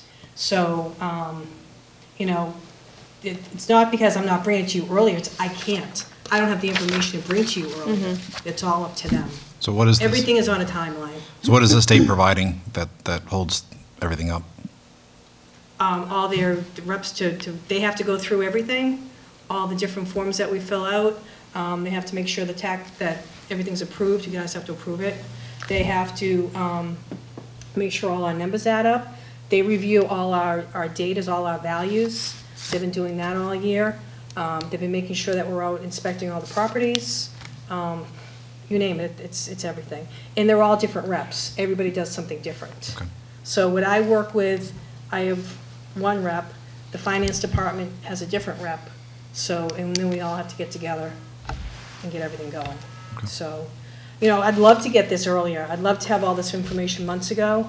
But again, it's like, it's day by day. You know, you don't know when you're gonna get it, and you just keep waiting and waiting for them to approve everything. Okay. So, and luckily, we have a good group, and they like my software company, and they, they put us through pretty quick. So, I mean, other towns, uh, to the last second, waiting. So what do, what do we have for notification requirements? So if we, if we asked you guys to go back to run some numbers against what local businesses, how they would be impacted? Like, how, how quickly can you do that, So- and what are requirements to post? So if we could hearing? flush that out just a little bit, because I think what we're trying to say is all homeowners are the same, and we're trying to say businesses are different. We've got big businesses, we've got small businesses. I'm not sure how we're really going to stratify the businesses for you.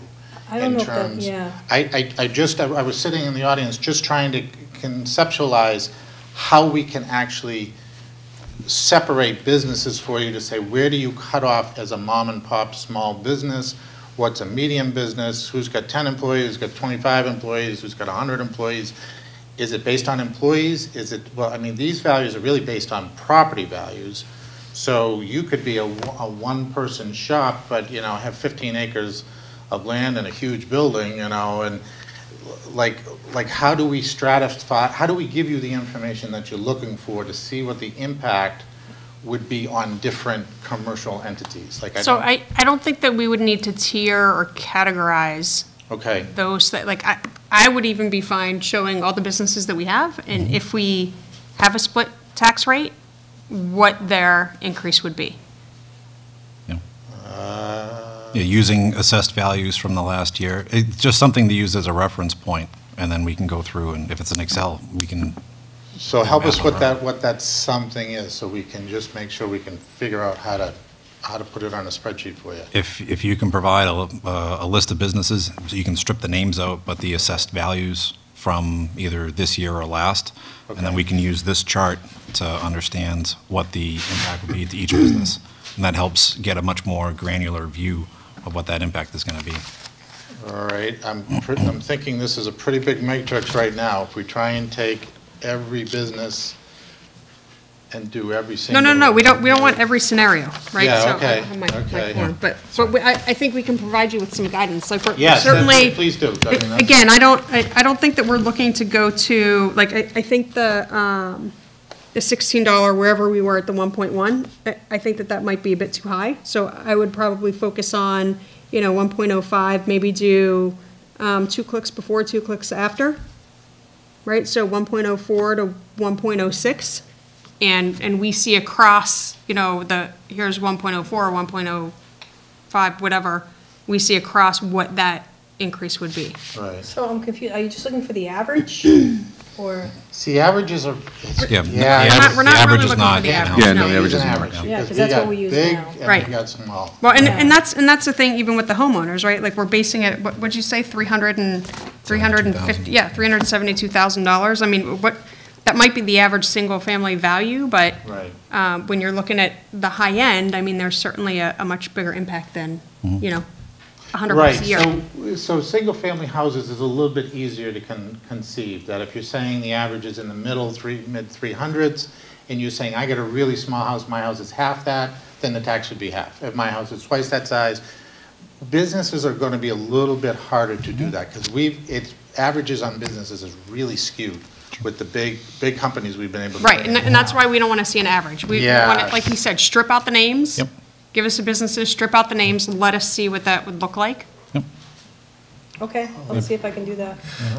No, but we also have, my other concern is that, uh, a little bit of a notification thing, because this, this Right, is that's gonna why I come asked straight out of the that. blue. So, you know, one of the things we could consider is making a motion on something tonight and, but, and then discussing this on a move-forward basis. I, I, I don't like making a snap decision, but at, at the same time, I also don't like pulling the rug under people who are trying to budget their business for 2020.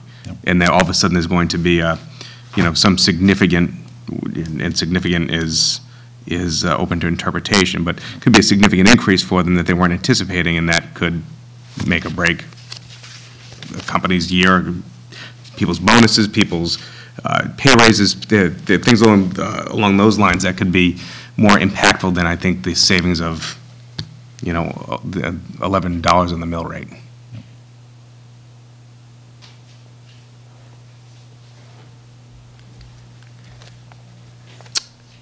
What are the hearing requirements?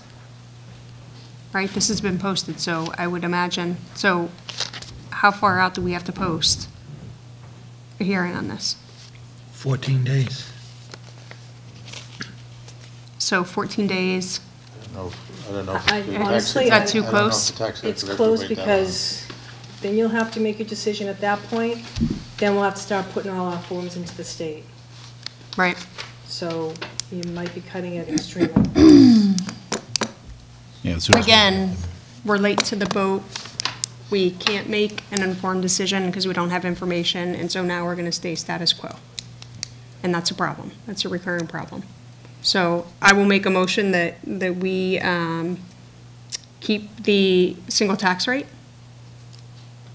And I will promise the folks here and our townspeople that I will work with other people and we will get ahead of this next time.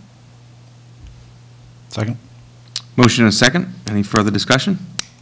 No, No. I, I agree with Renee. We'll su- support the process and spend the next year trying to study it and And what I'll do for next year is I'll make a note to get that ready for you, so you'll see the difference between the, that way it'll give me a lot more time, and we'll have more, better information for you anyway, instead of just mm-hmm. throwing something together. Yeah. If you're able to do that even within the next couple of weeks, again, just to. Yeah, just get, to get it started, because I, I agree, I think that the, the thought of trying to get the businesses and scrub it out, so we have, you know, at least then we can communicate it, that this may be coming and what the average Right. impact may be. Um, And the truth, we're being deliberate. As to Renee's point, a lot of the things we do seem rushed. Yep. And we're kind of backed into making a decision that might not be the right one if we had all the information on, and it does get frustrating. Um, And I, I I agree, it's not a reflection on you. If you need inputs from the state, your hands are tied, so. But I, but I think what we do in a go forward, right, we use the numbers that we have. You don't know what the impact's gonna be by the state changing that, but at least we're gonna have some idea of what those changes would be, given current figures. So, if, I mean, if, as long as everything's all set tonight, they'll, they'll approve it at the fourteen, um, what is it, eighty-one? would be the 1481. tax rate. Yep. Um, I doubt that they would change that, um, that should be the tax rate going forward for FY twenty. Okay. Is that your question? I think Renee was saying No, no, for I- FY '21, we can do projections based off of this year's Yeah. information, Yes, the assessed yes, we values can and the do that. rates. absolutely. That's exactly what I was saying. Thank you for putting it more eloquently. That's exactly. So we have motion and a second. Any further discussion? All those in favor? Aye. Aye. Unanimous. And then um, you need to vote on um, a resi- residential exemption and the um, the small commercial exemption as well. And the residential, I don't know if you know what the residential, uh, like um, Denise was saying, Boston has a lot of residential exemptions because for the multifamily homes in Boston, if you live in the home, you get a break on your taxes. If, um, If you own and live in the if you home? own and live in Yeah. it. Usually the big cities will do that. I know like Cambridge does it, Boston does it. Um, I think But- Shane was talking about that earlier. Is, is that hom- homestead? Is that something? No, That's a that- di- different that's different. object. Okay. Yeah. Uh, So the idea is um, whether you're a, um, you own and actually live in the property, or you're an absentee landlord. So they're, they're trying to give a a break for people that are actually living in the city. Gotcha. You know, in, in their homes. You know, it's a little expensive to live in the city, you know, as opposed to just rent out all your units and you live elsewhere. So I- I'll ask the question, um, what percentage of, of people do we have in that position in Norton That rent out their property? That live in the property that they rent? I'm Uh, we not don't have that sure- data. I don't know if we. Live in the property that they rent or property they own? Property, Property they own. live in the property that they own, but they rent out a portion of it, right? Yeah, that, we don't have that information. I don't know if we even collect that. I don't know if, uh, How could we give an exemption then? are then? we allowed to collect that? Uh, I guess, I guess we probably would be allowed to, but. Yeah, we have very few, that's why Yeah. their recommendation would be not to. Not to, uh, right. Yeah, I mean, if we had uh, many multifamilies, things like that, then it would be different, but we don't really have that many in town, considering, you know, what other areas have.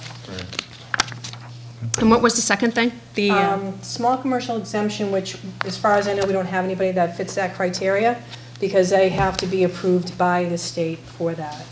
Um, And that's the, under 10 employees all in the same building, Yeah, or everyone has to qualify in the same building.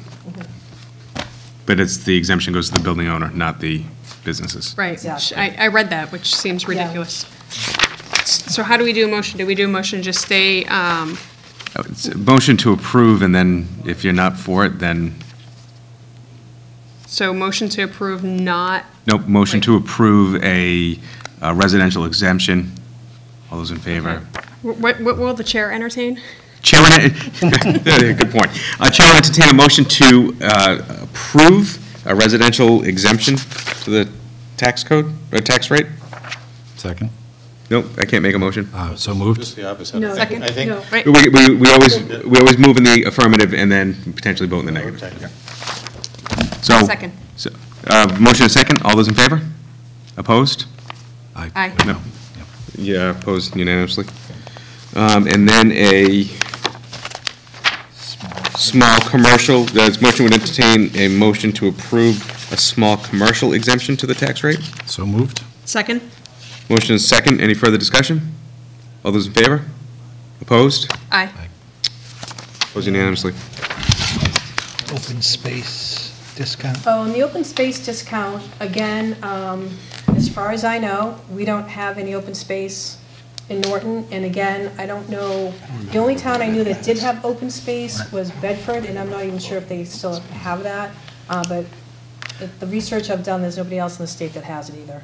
Um, We don't have any properties that qualify for that, that I'm aware of. So it doesn't include s- chapter 61 or 61AB.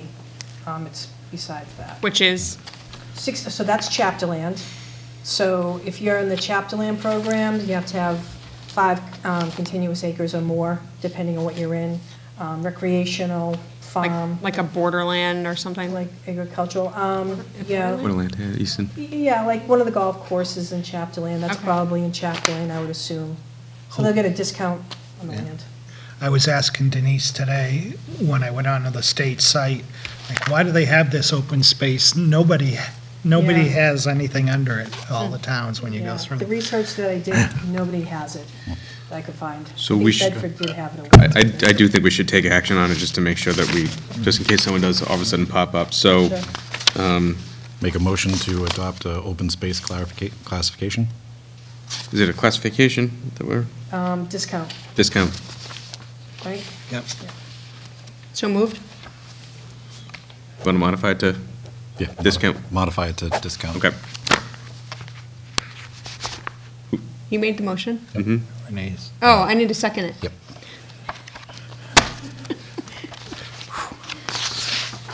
I second. Okay. thank you. There we go. So have a motion and a second. Um, Any further discussion? All those in favor? Opposed? Aye. Aye. At least we Unanimously voted, right? opposed. Thank you. Thank you. Thanks, guys. Thank you. Set the town election. Oh, yeah, we, we went right past that, didn't we? So, um, we have to vote to set the date of the annual town election, which is now Saturday in Janu, uh, April. Yeah, the town clerk recommends Saturday, April 4th.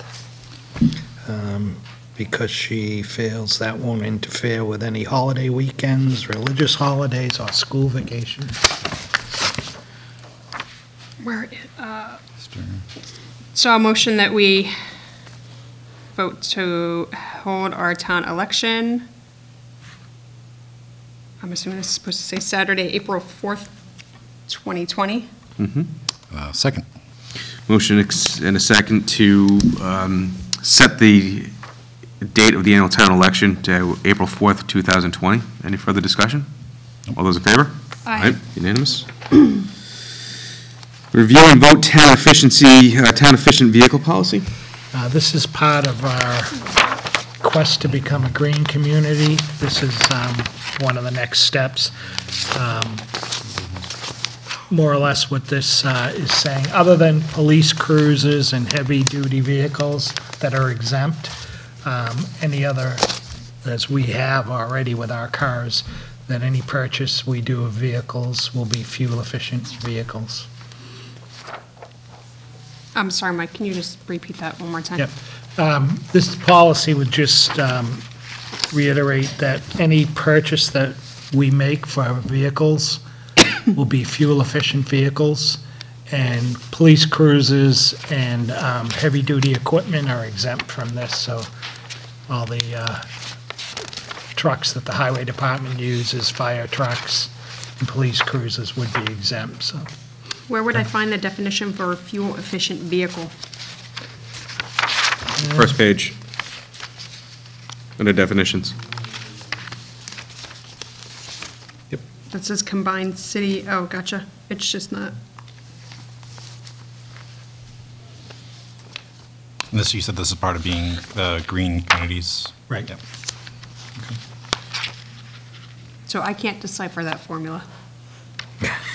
Just read the definition, but, so is this, this would still mean that we would have, um, I mean, I imagine when we purchase a vehicle, the vehicle has to say whether or not it's fuel, it's rated as an efficient vehicle? Right, it's or going to an show the, electric it's vehicle? going to show the, the mileage rating for, Okay. and I, and I do think it's going to be becoming more and more difficult to Mm-hmm. get non-fuel efficient vehicles. If you, um, look, yeah, it is. If you look at this other re- report that I gave you, go to the second page, it's easier, because Oh, here we it's go. by miles per gallon, so it makes it. Okay, So for a f- uh, a four-wheel drive car, 24 miles per gallon. okay, so this, like at the bottom, it has uh, the SUV, right? So this could apply for some of our police Mm-hmm. cruisers, because we have SUVs, but not the fire. I mean, I, I think it makes sense. I I agree. And also, the school committee would have, is going to vote on this at their next meeting. And school buses are exempt because of the size of school buses. Do you have any idea how many vehicles we have that would fall under this? Just the um, four that we have. Um, And I don't believe the schools have any that would fall under it. Okay. All right, we have a pickup truck, right? They do have a pickup truck, yeah. okay.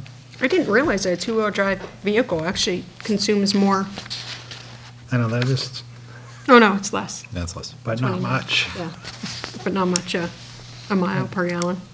Okay, Chair would entertain a motion to, uh, to accept the uh, Town of Norton fuel efficient vehicle policy as written. So moved. Second? Motion is second. Um, Any further discussion? All those in favor? Aye. Aye. Uh, Unanimous. And then discussion of Norton Need fundraiser. Um, I'm not sure. Someone want to provide some clarity on this for me? So that, that was an email that um, came from Sherry Cohen in respect to um, the end painted on the driveways in some of the schools around town. It's a fundraiser for Norton Need, and the question was whether or not the Town Hall and Senior Center would like to participate and have the painted permanent ends at the entrances of both areas. And then I, I asked if Jack had information to speak to this, or if somebody from Need would be available. Um, I can do my best to speak on behalf of Need, as my wife is a member.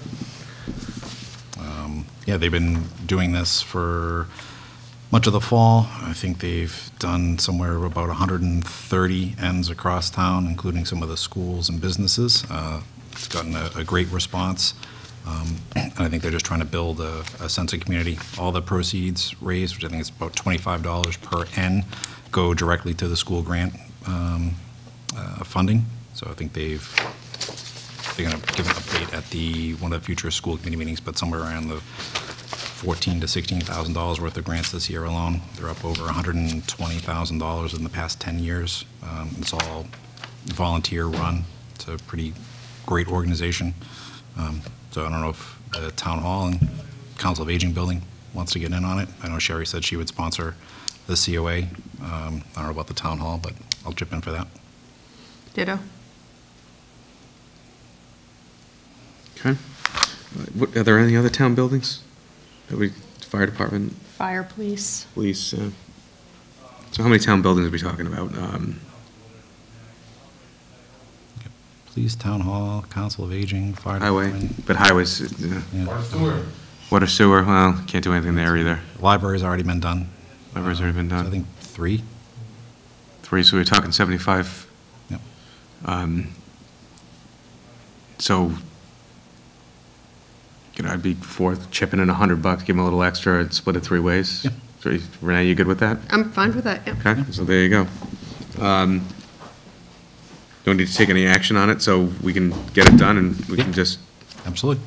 I will update the boss and uh, get him added onto the spring list. fabulous. Okay, under old business, we have a discussion on inquiries into marijuana facilities.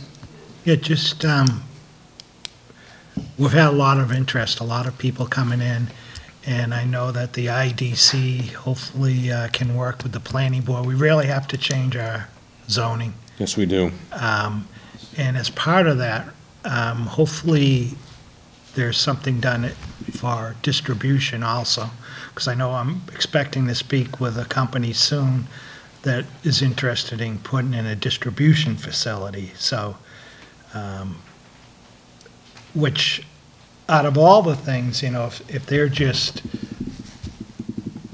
um, distributing from here, not selling, I mean, it's the least impact, I would think, to the town, and you would get some, some money from it. But that's something that wa- isn't in our zoning right now and would have to be added in there to So address it.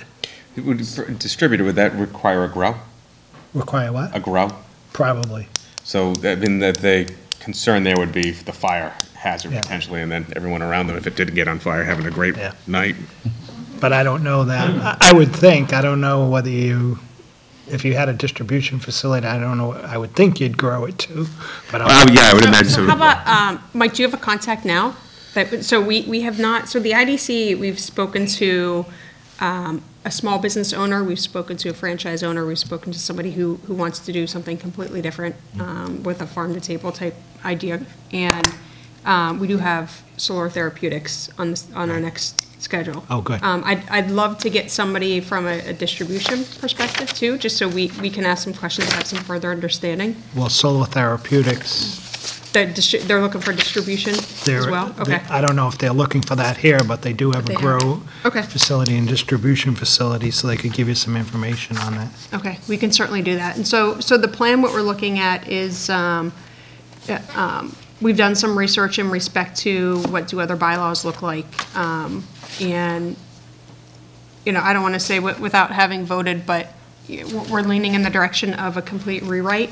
Um, I'm going to try to get on the, depending on timing, on the next planning board meeting, which is actually the day before our next IDC meeting, so it may be the, the meeting afterwards.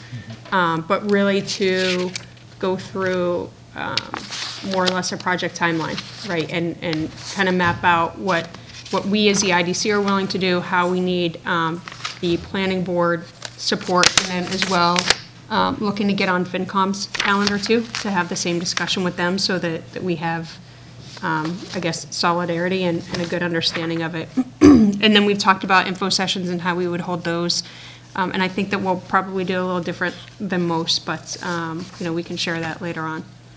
But it, it- it, we're moving in the right direction. Our target is at the April town meeting, if not earlier, if something were to present itself. And um, something else um, came up with one of the companies when we were talking about, you know, the value of a license and the host agreement we sign with them. They were asking, well, are you going to put a limit on how many will be issued in your town? Yeah. So- I actually wonder, I wrote that question down when we were going through all the, all the other licenses. um, Because they're typically a percentage of the alcohol Right. licenses. How many do, how many alcohol licenses do Well, we have? Well, it's a percentage, I think it's a percentage of the package store licenses. Just And package? we only have nine, Okay. so, But, it- but it's, uh, I think the CCC, it- the recommendation is you have to have at least this many per your the right. number of. So for us, the at least would be one, based Okay. on the amount of package stores. So So we, would- just be, just be thinking about, like, I, I would think like a town this size, the maximum would probably be three, but Right where that's just off the top of my head. Yep. Mm-hmm. yeah, I, I think we can have some discussion, and I think the board, I think, I think we have ultimate really decision on that, but Yeah. I think we can have that discussion on the IDC too. I mean, there Yeah. are, there are a variety of, of different, um, type, they're not types, but they are types, right? Where, Classifications. yes. Where Yep. they, they could be a little different, but I think it's a good, it's a good discussion to have. Okay. Okay, discussion or, and/or revote on remote par- participation. Um, I, so just because we're missing Yeah. Mary and, um, you know, Brad, I, I think I wouldn't really want to put it up for vote, but if we're, if someone wants to discuss it, I'm glad to. What, what was, what was this for? Because I, I think just showing where we are compared, to or where the town is, Yeah, just showing what you town are. boards. So I gave you a list of, uh, the assessors, the charter commission have voted um, yes to uh, using remote participation, community preservation and board of health, no, industrial development and planning, yes, parks and recreation, water and sewer, no, um, and zoning board has voted yes. And, and have we, um, or just at least in preparation for a meeting with more attendees, have we collected, um, the required signatures? Like I see on, on the one here, we got it from the zoning board of appeals, we got it from the chair, but we actually need it from all members. Yeah, um, Is that in the works? I, I checked with Paul today, I don't know whether he told me he had it or he's getting it, so. Okay. And you still have to vote, right? You are- We haven't- We haven't voted, So We don't, um, we don't have to. Right. Um, can, Mike, can we, on the Board of Selectmen website, can we get a list of all of the groups who have voted and, and how they voted? And I think that would help us, I mean, I know they have a requirement to put in their agenda that remote participation may occur, but I think that would help us with open meeting law too, for people to understand where, where that might take place. Can we, can we start doing that, and that'll just kind of help us like a a checks and balance of Yeah. what's where? Do we know if anybody's used it uh, since the? Planning board? has, Okay. um, has charter? No. Okay. Town managers report. Mike? Elm Street, um, they had their pre-construction meeting, um, on Monday, and they've started mobilizing down there now. So hopefully uh, next week they'll start on the demo. Pre-destruction meeting? What pre-destruction meeting? I guess that would be. um, Do they know how long the demo is going to take? Um, it probably two to three weeks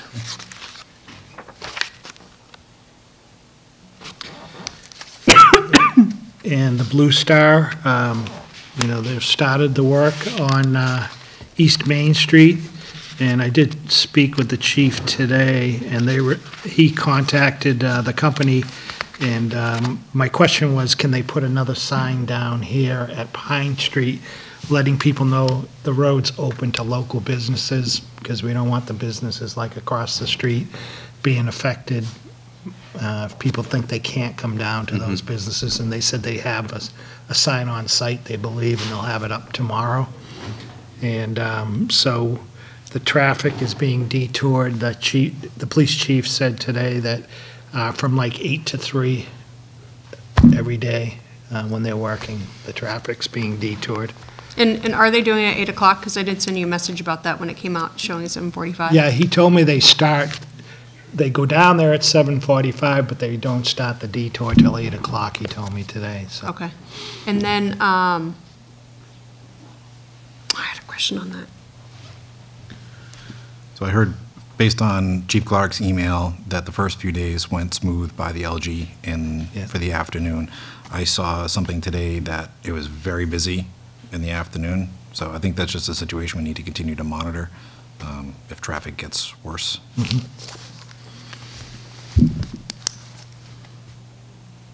That was my, that's actually my question. Um, Mike, there's some information on the uh, Town Clerk Facebook page of the detours, but I think it's only posted for Leonard Street, so can we get the, Sure. the rest of it up there? And I don't know, I don't know who provided that, but it looks, it looks good. I think um, it's showing an outdated book maybe now, as of a couple days ago. I didn't, I haven't looked at it today. But I think that's a good place. I know, Jack, you you, um, pointed some people there who had some concerns about it. The other thing, too, is we had a couple notifications that were sent out on that. Um, And it looked like the second one came out to say it wasn't the water sewer work, it was Condyne. Um, So somebody sent out notifications. Yeah, I got two the other day. I might have the text messages as well. Um, But from a, a point of frustration, I think that I first saw that the work was going to get done at about 10 o'clock the night before it started. So I think having some advance notice would have been helpful to help communicate that out instead of people waking up in the morning and realizing that traffic flow is wildly different than when they went to bed. And the other thing they did on that notification, it just said that the road was being closed. Closed, right. It sounded like it was a permanent closure Right. with no time. And it, it didn't say that you could travel westbound on. Right. So who's in charge of communicating that type of stuff out? Because That- that's one thing that I think we really need to improve That was on. put up by um, Norton Emergency Management, so Chief Clark um, contacted them to have them change that. Okay. So in terms of Condyne letting us know when they're doing the work, can we get a bit more notice? Mm-hmm. Um, Just so we can, you know, tell people? Well, we had it. I mean, we approved and they, they said they were We- starting the next week, but we didn't, yeah, we didn't, We didn't know we when didn't it anything was. about We knew. Leonard, Leonard Street was starting, and then when I, we talked Right. on uh, Veterans Day Parade, we didn't know when they were going to start the East Main portion. So, so can we use, um, you know, detour's gonna change, right, from Pine Street and Plain Street to Plain and Burt, right, once they move past South Washington? yeah. So can we plan a notification at least two days prior with the times, as you suggested, and, and just, you know, maybe just ask somebody to review it? I'll certainly be around if they want a a second set of eyes on it. Okay. Thank you. On um, the West Main Street sewer project, they're done for the winter. Um, Their permit doesn't allow them to extend any new trenches after November 15th.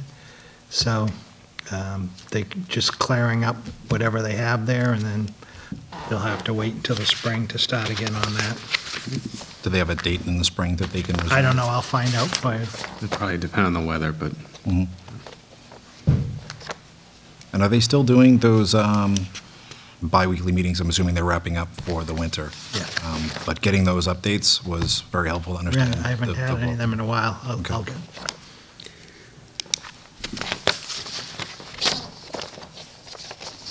Okay, and then the uh, Carroll advertising? Um, Yeah, they've uh, signed agreements to uh, lease two sites, um, 176 South Washington and 2 to 6 Lopes Drive for digital signboards. So they'll have, now have to go to the planning board and go through the process. Are these the dual signboards? Say that again. Marie. Dual? Yeah. What was the address? It was one- 176 South Washington and 2 to 6 Lopes Drive. They're abutting properties. Excuse me. Is that any different than what we initially saw from them? No, more or less the same area. They just weren't sure where they were gonna. Yeah, I recognize the South Washington address, the Lopes Drive. Did we skip an item? Yeah, we did. We skipped uh, report on Massachusetts uh, OSHA. Um, Yeah, we were visited uh, last week by the Massachusetts Occupational Safety and Health Inspector, um, and said they'll have a report for us in a couple weeks. They were here for like five or six hours, looking at the building, and then meeting with uh, reps from the unions after that. and, um, So I expect to get some concerns out of there. uh, I wouldn't be surprised. What's that? Wouldn't be surprised. Do we know what triggered the inspection? I, I don't. They wouldn't tell me, uh, um, they were contacted, but it's Yeah. like the uh, whistleblower, uh, No, they won't, that, that's what I assumed, someone picked up the phone. yeah. Oh, we should have had him in here a long time ago. Should have. Um, Thanks, Mike. Under Selectmen's Report and Mail, Mr. Conway. Uh, nothing new for me. Ms. Deli? Uh, I have a couple questions that um, went around in email, I think. So one was in respect to the Wheaton and Board of Selectmen liaison. Do we have a liaison assigned right now, to Wheaton? Not that I'm aware of. No? Okay, what would be the process? We vote for someone? Um, I don't think we have to vote for it. Do we? Do we vote for liaisons? It's up to you. I you, mean- it's up to you guys.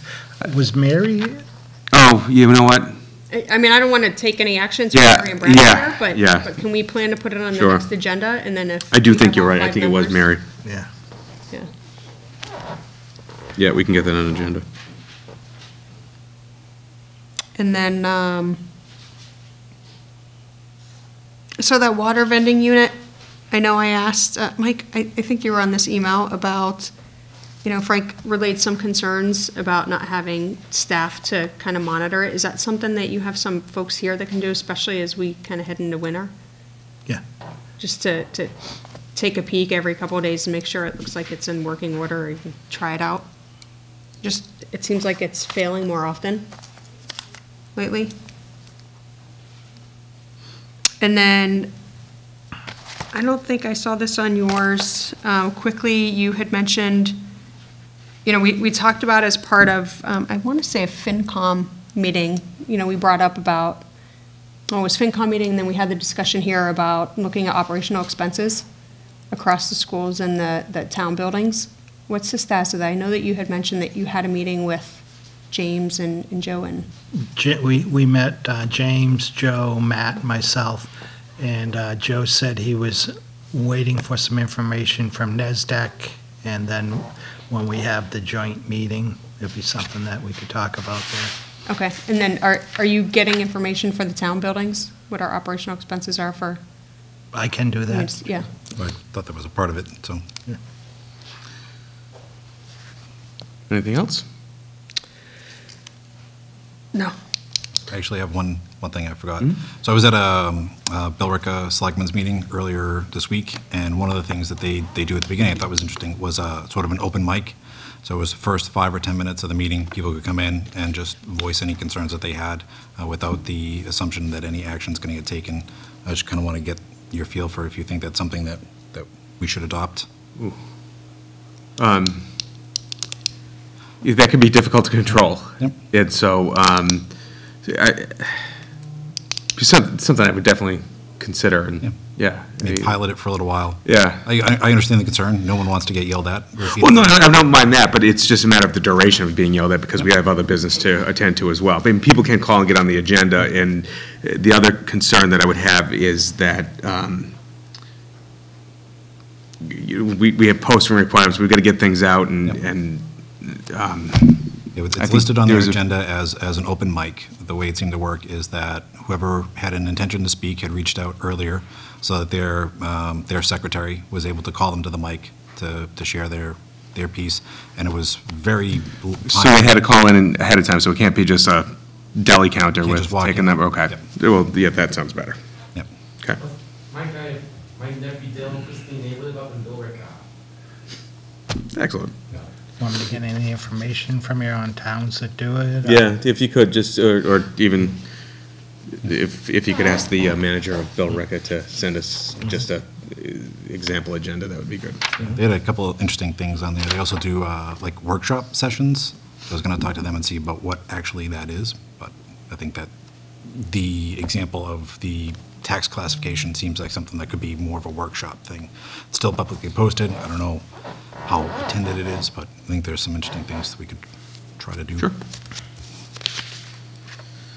Anything else? Uh, no, So do we want to adopt a open mic, or is that something we'll punt? I know, I definitely would want to see a little bit more, and then also Okay. have the, yeah, at least Mary or, you know, Brad. Do you have I- John's email, Mike? Say that again. Uh, John Curran is the town Yeah. manager. I'll find it. But I think we should put that on a future agenda Okay. to, to discuss. Um, So Dr. Baeta had reached out to ask if we could do a joint meeting on 12/19 instead of 12/5. Okay. I cannot make that date. I cannot either. Okay, so that's a no. So, What about the week before? I mean, just, can, can we propose some dates back to them while we're here? I mean, knowing that Mary's not here and we'd have to go out, but um, is there anything completely off? it gets to be a pretty dicey time of year. What do you mean, with Christmas and Right, year-end objectives? Come on. right. That's what, that's why I'm wondering, can we pull it back? Or even, I mean, what was the 5th? Was that a Thursday? Yeah. Yeah. Like, I'm, I'm not opposed to meeting another night if Yep. the group's available, the groups. Um, Is this a joint with just, uh, school committee and board of selectmen or? Fin- No, FinCom? FinCom, school committee, and, I think the PBC was attending, Mm-hmm. intending to show up as well. Yeah, I can do another day of the week. I could do, I don't think I could do the 12th.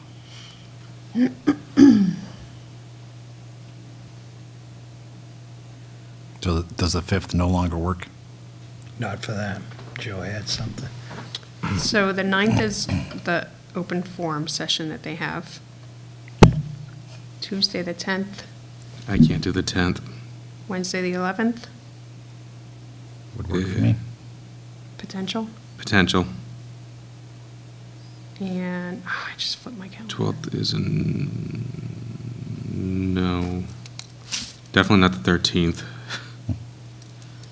I could do Tuesday, the 17th.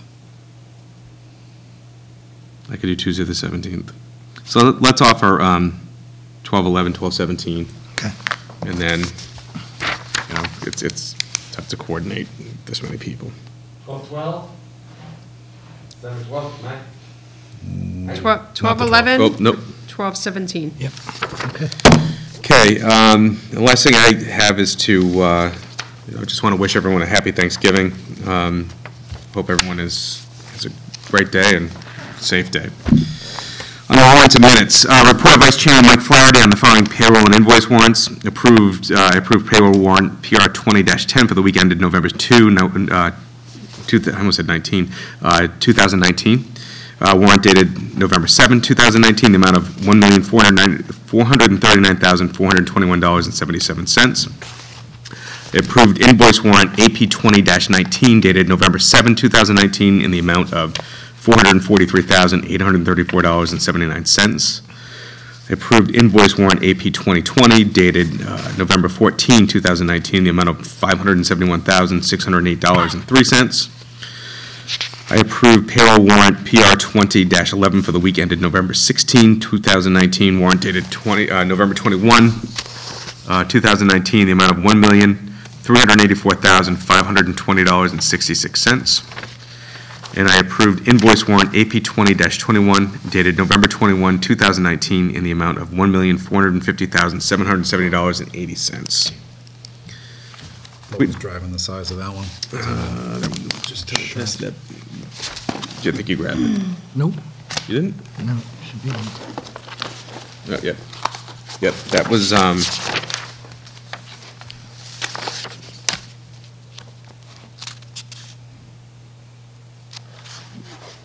couple water issues and then 1.2 million just coming from the general fund, so for a bunch of, uh, why is it payroll coming out of the general fund?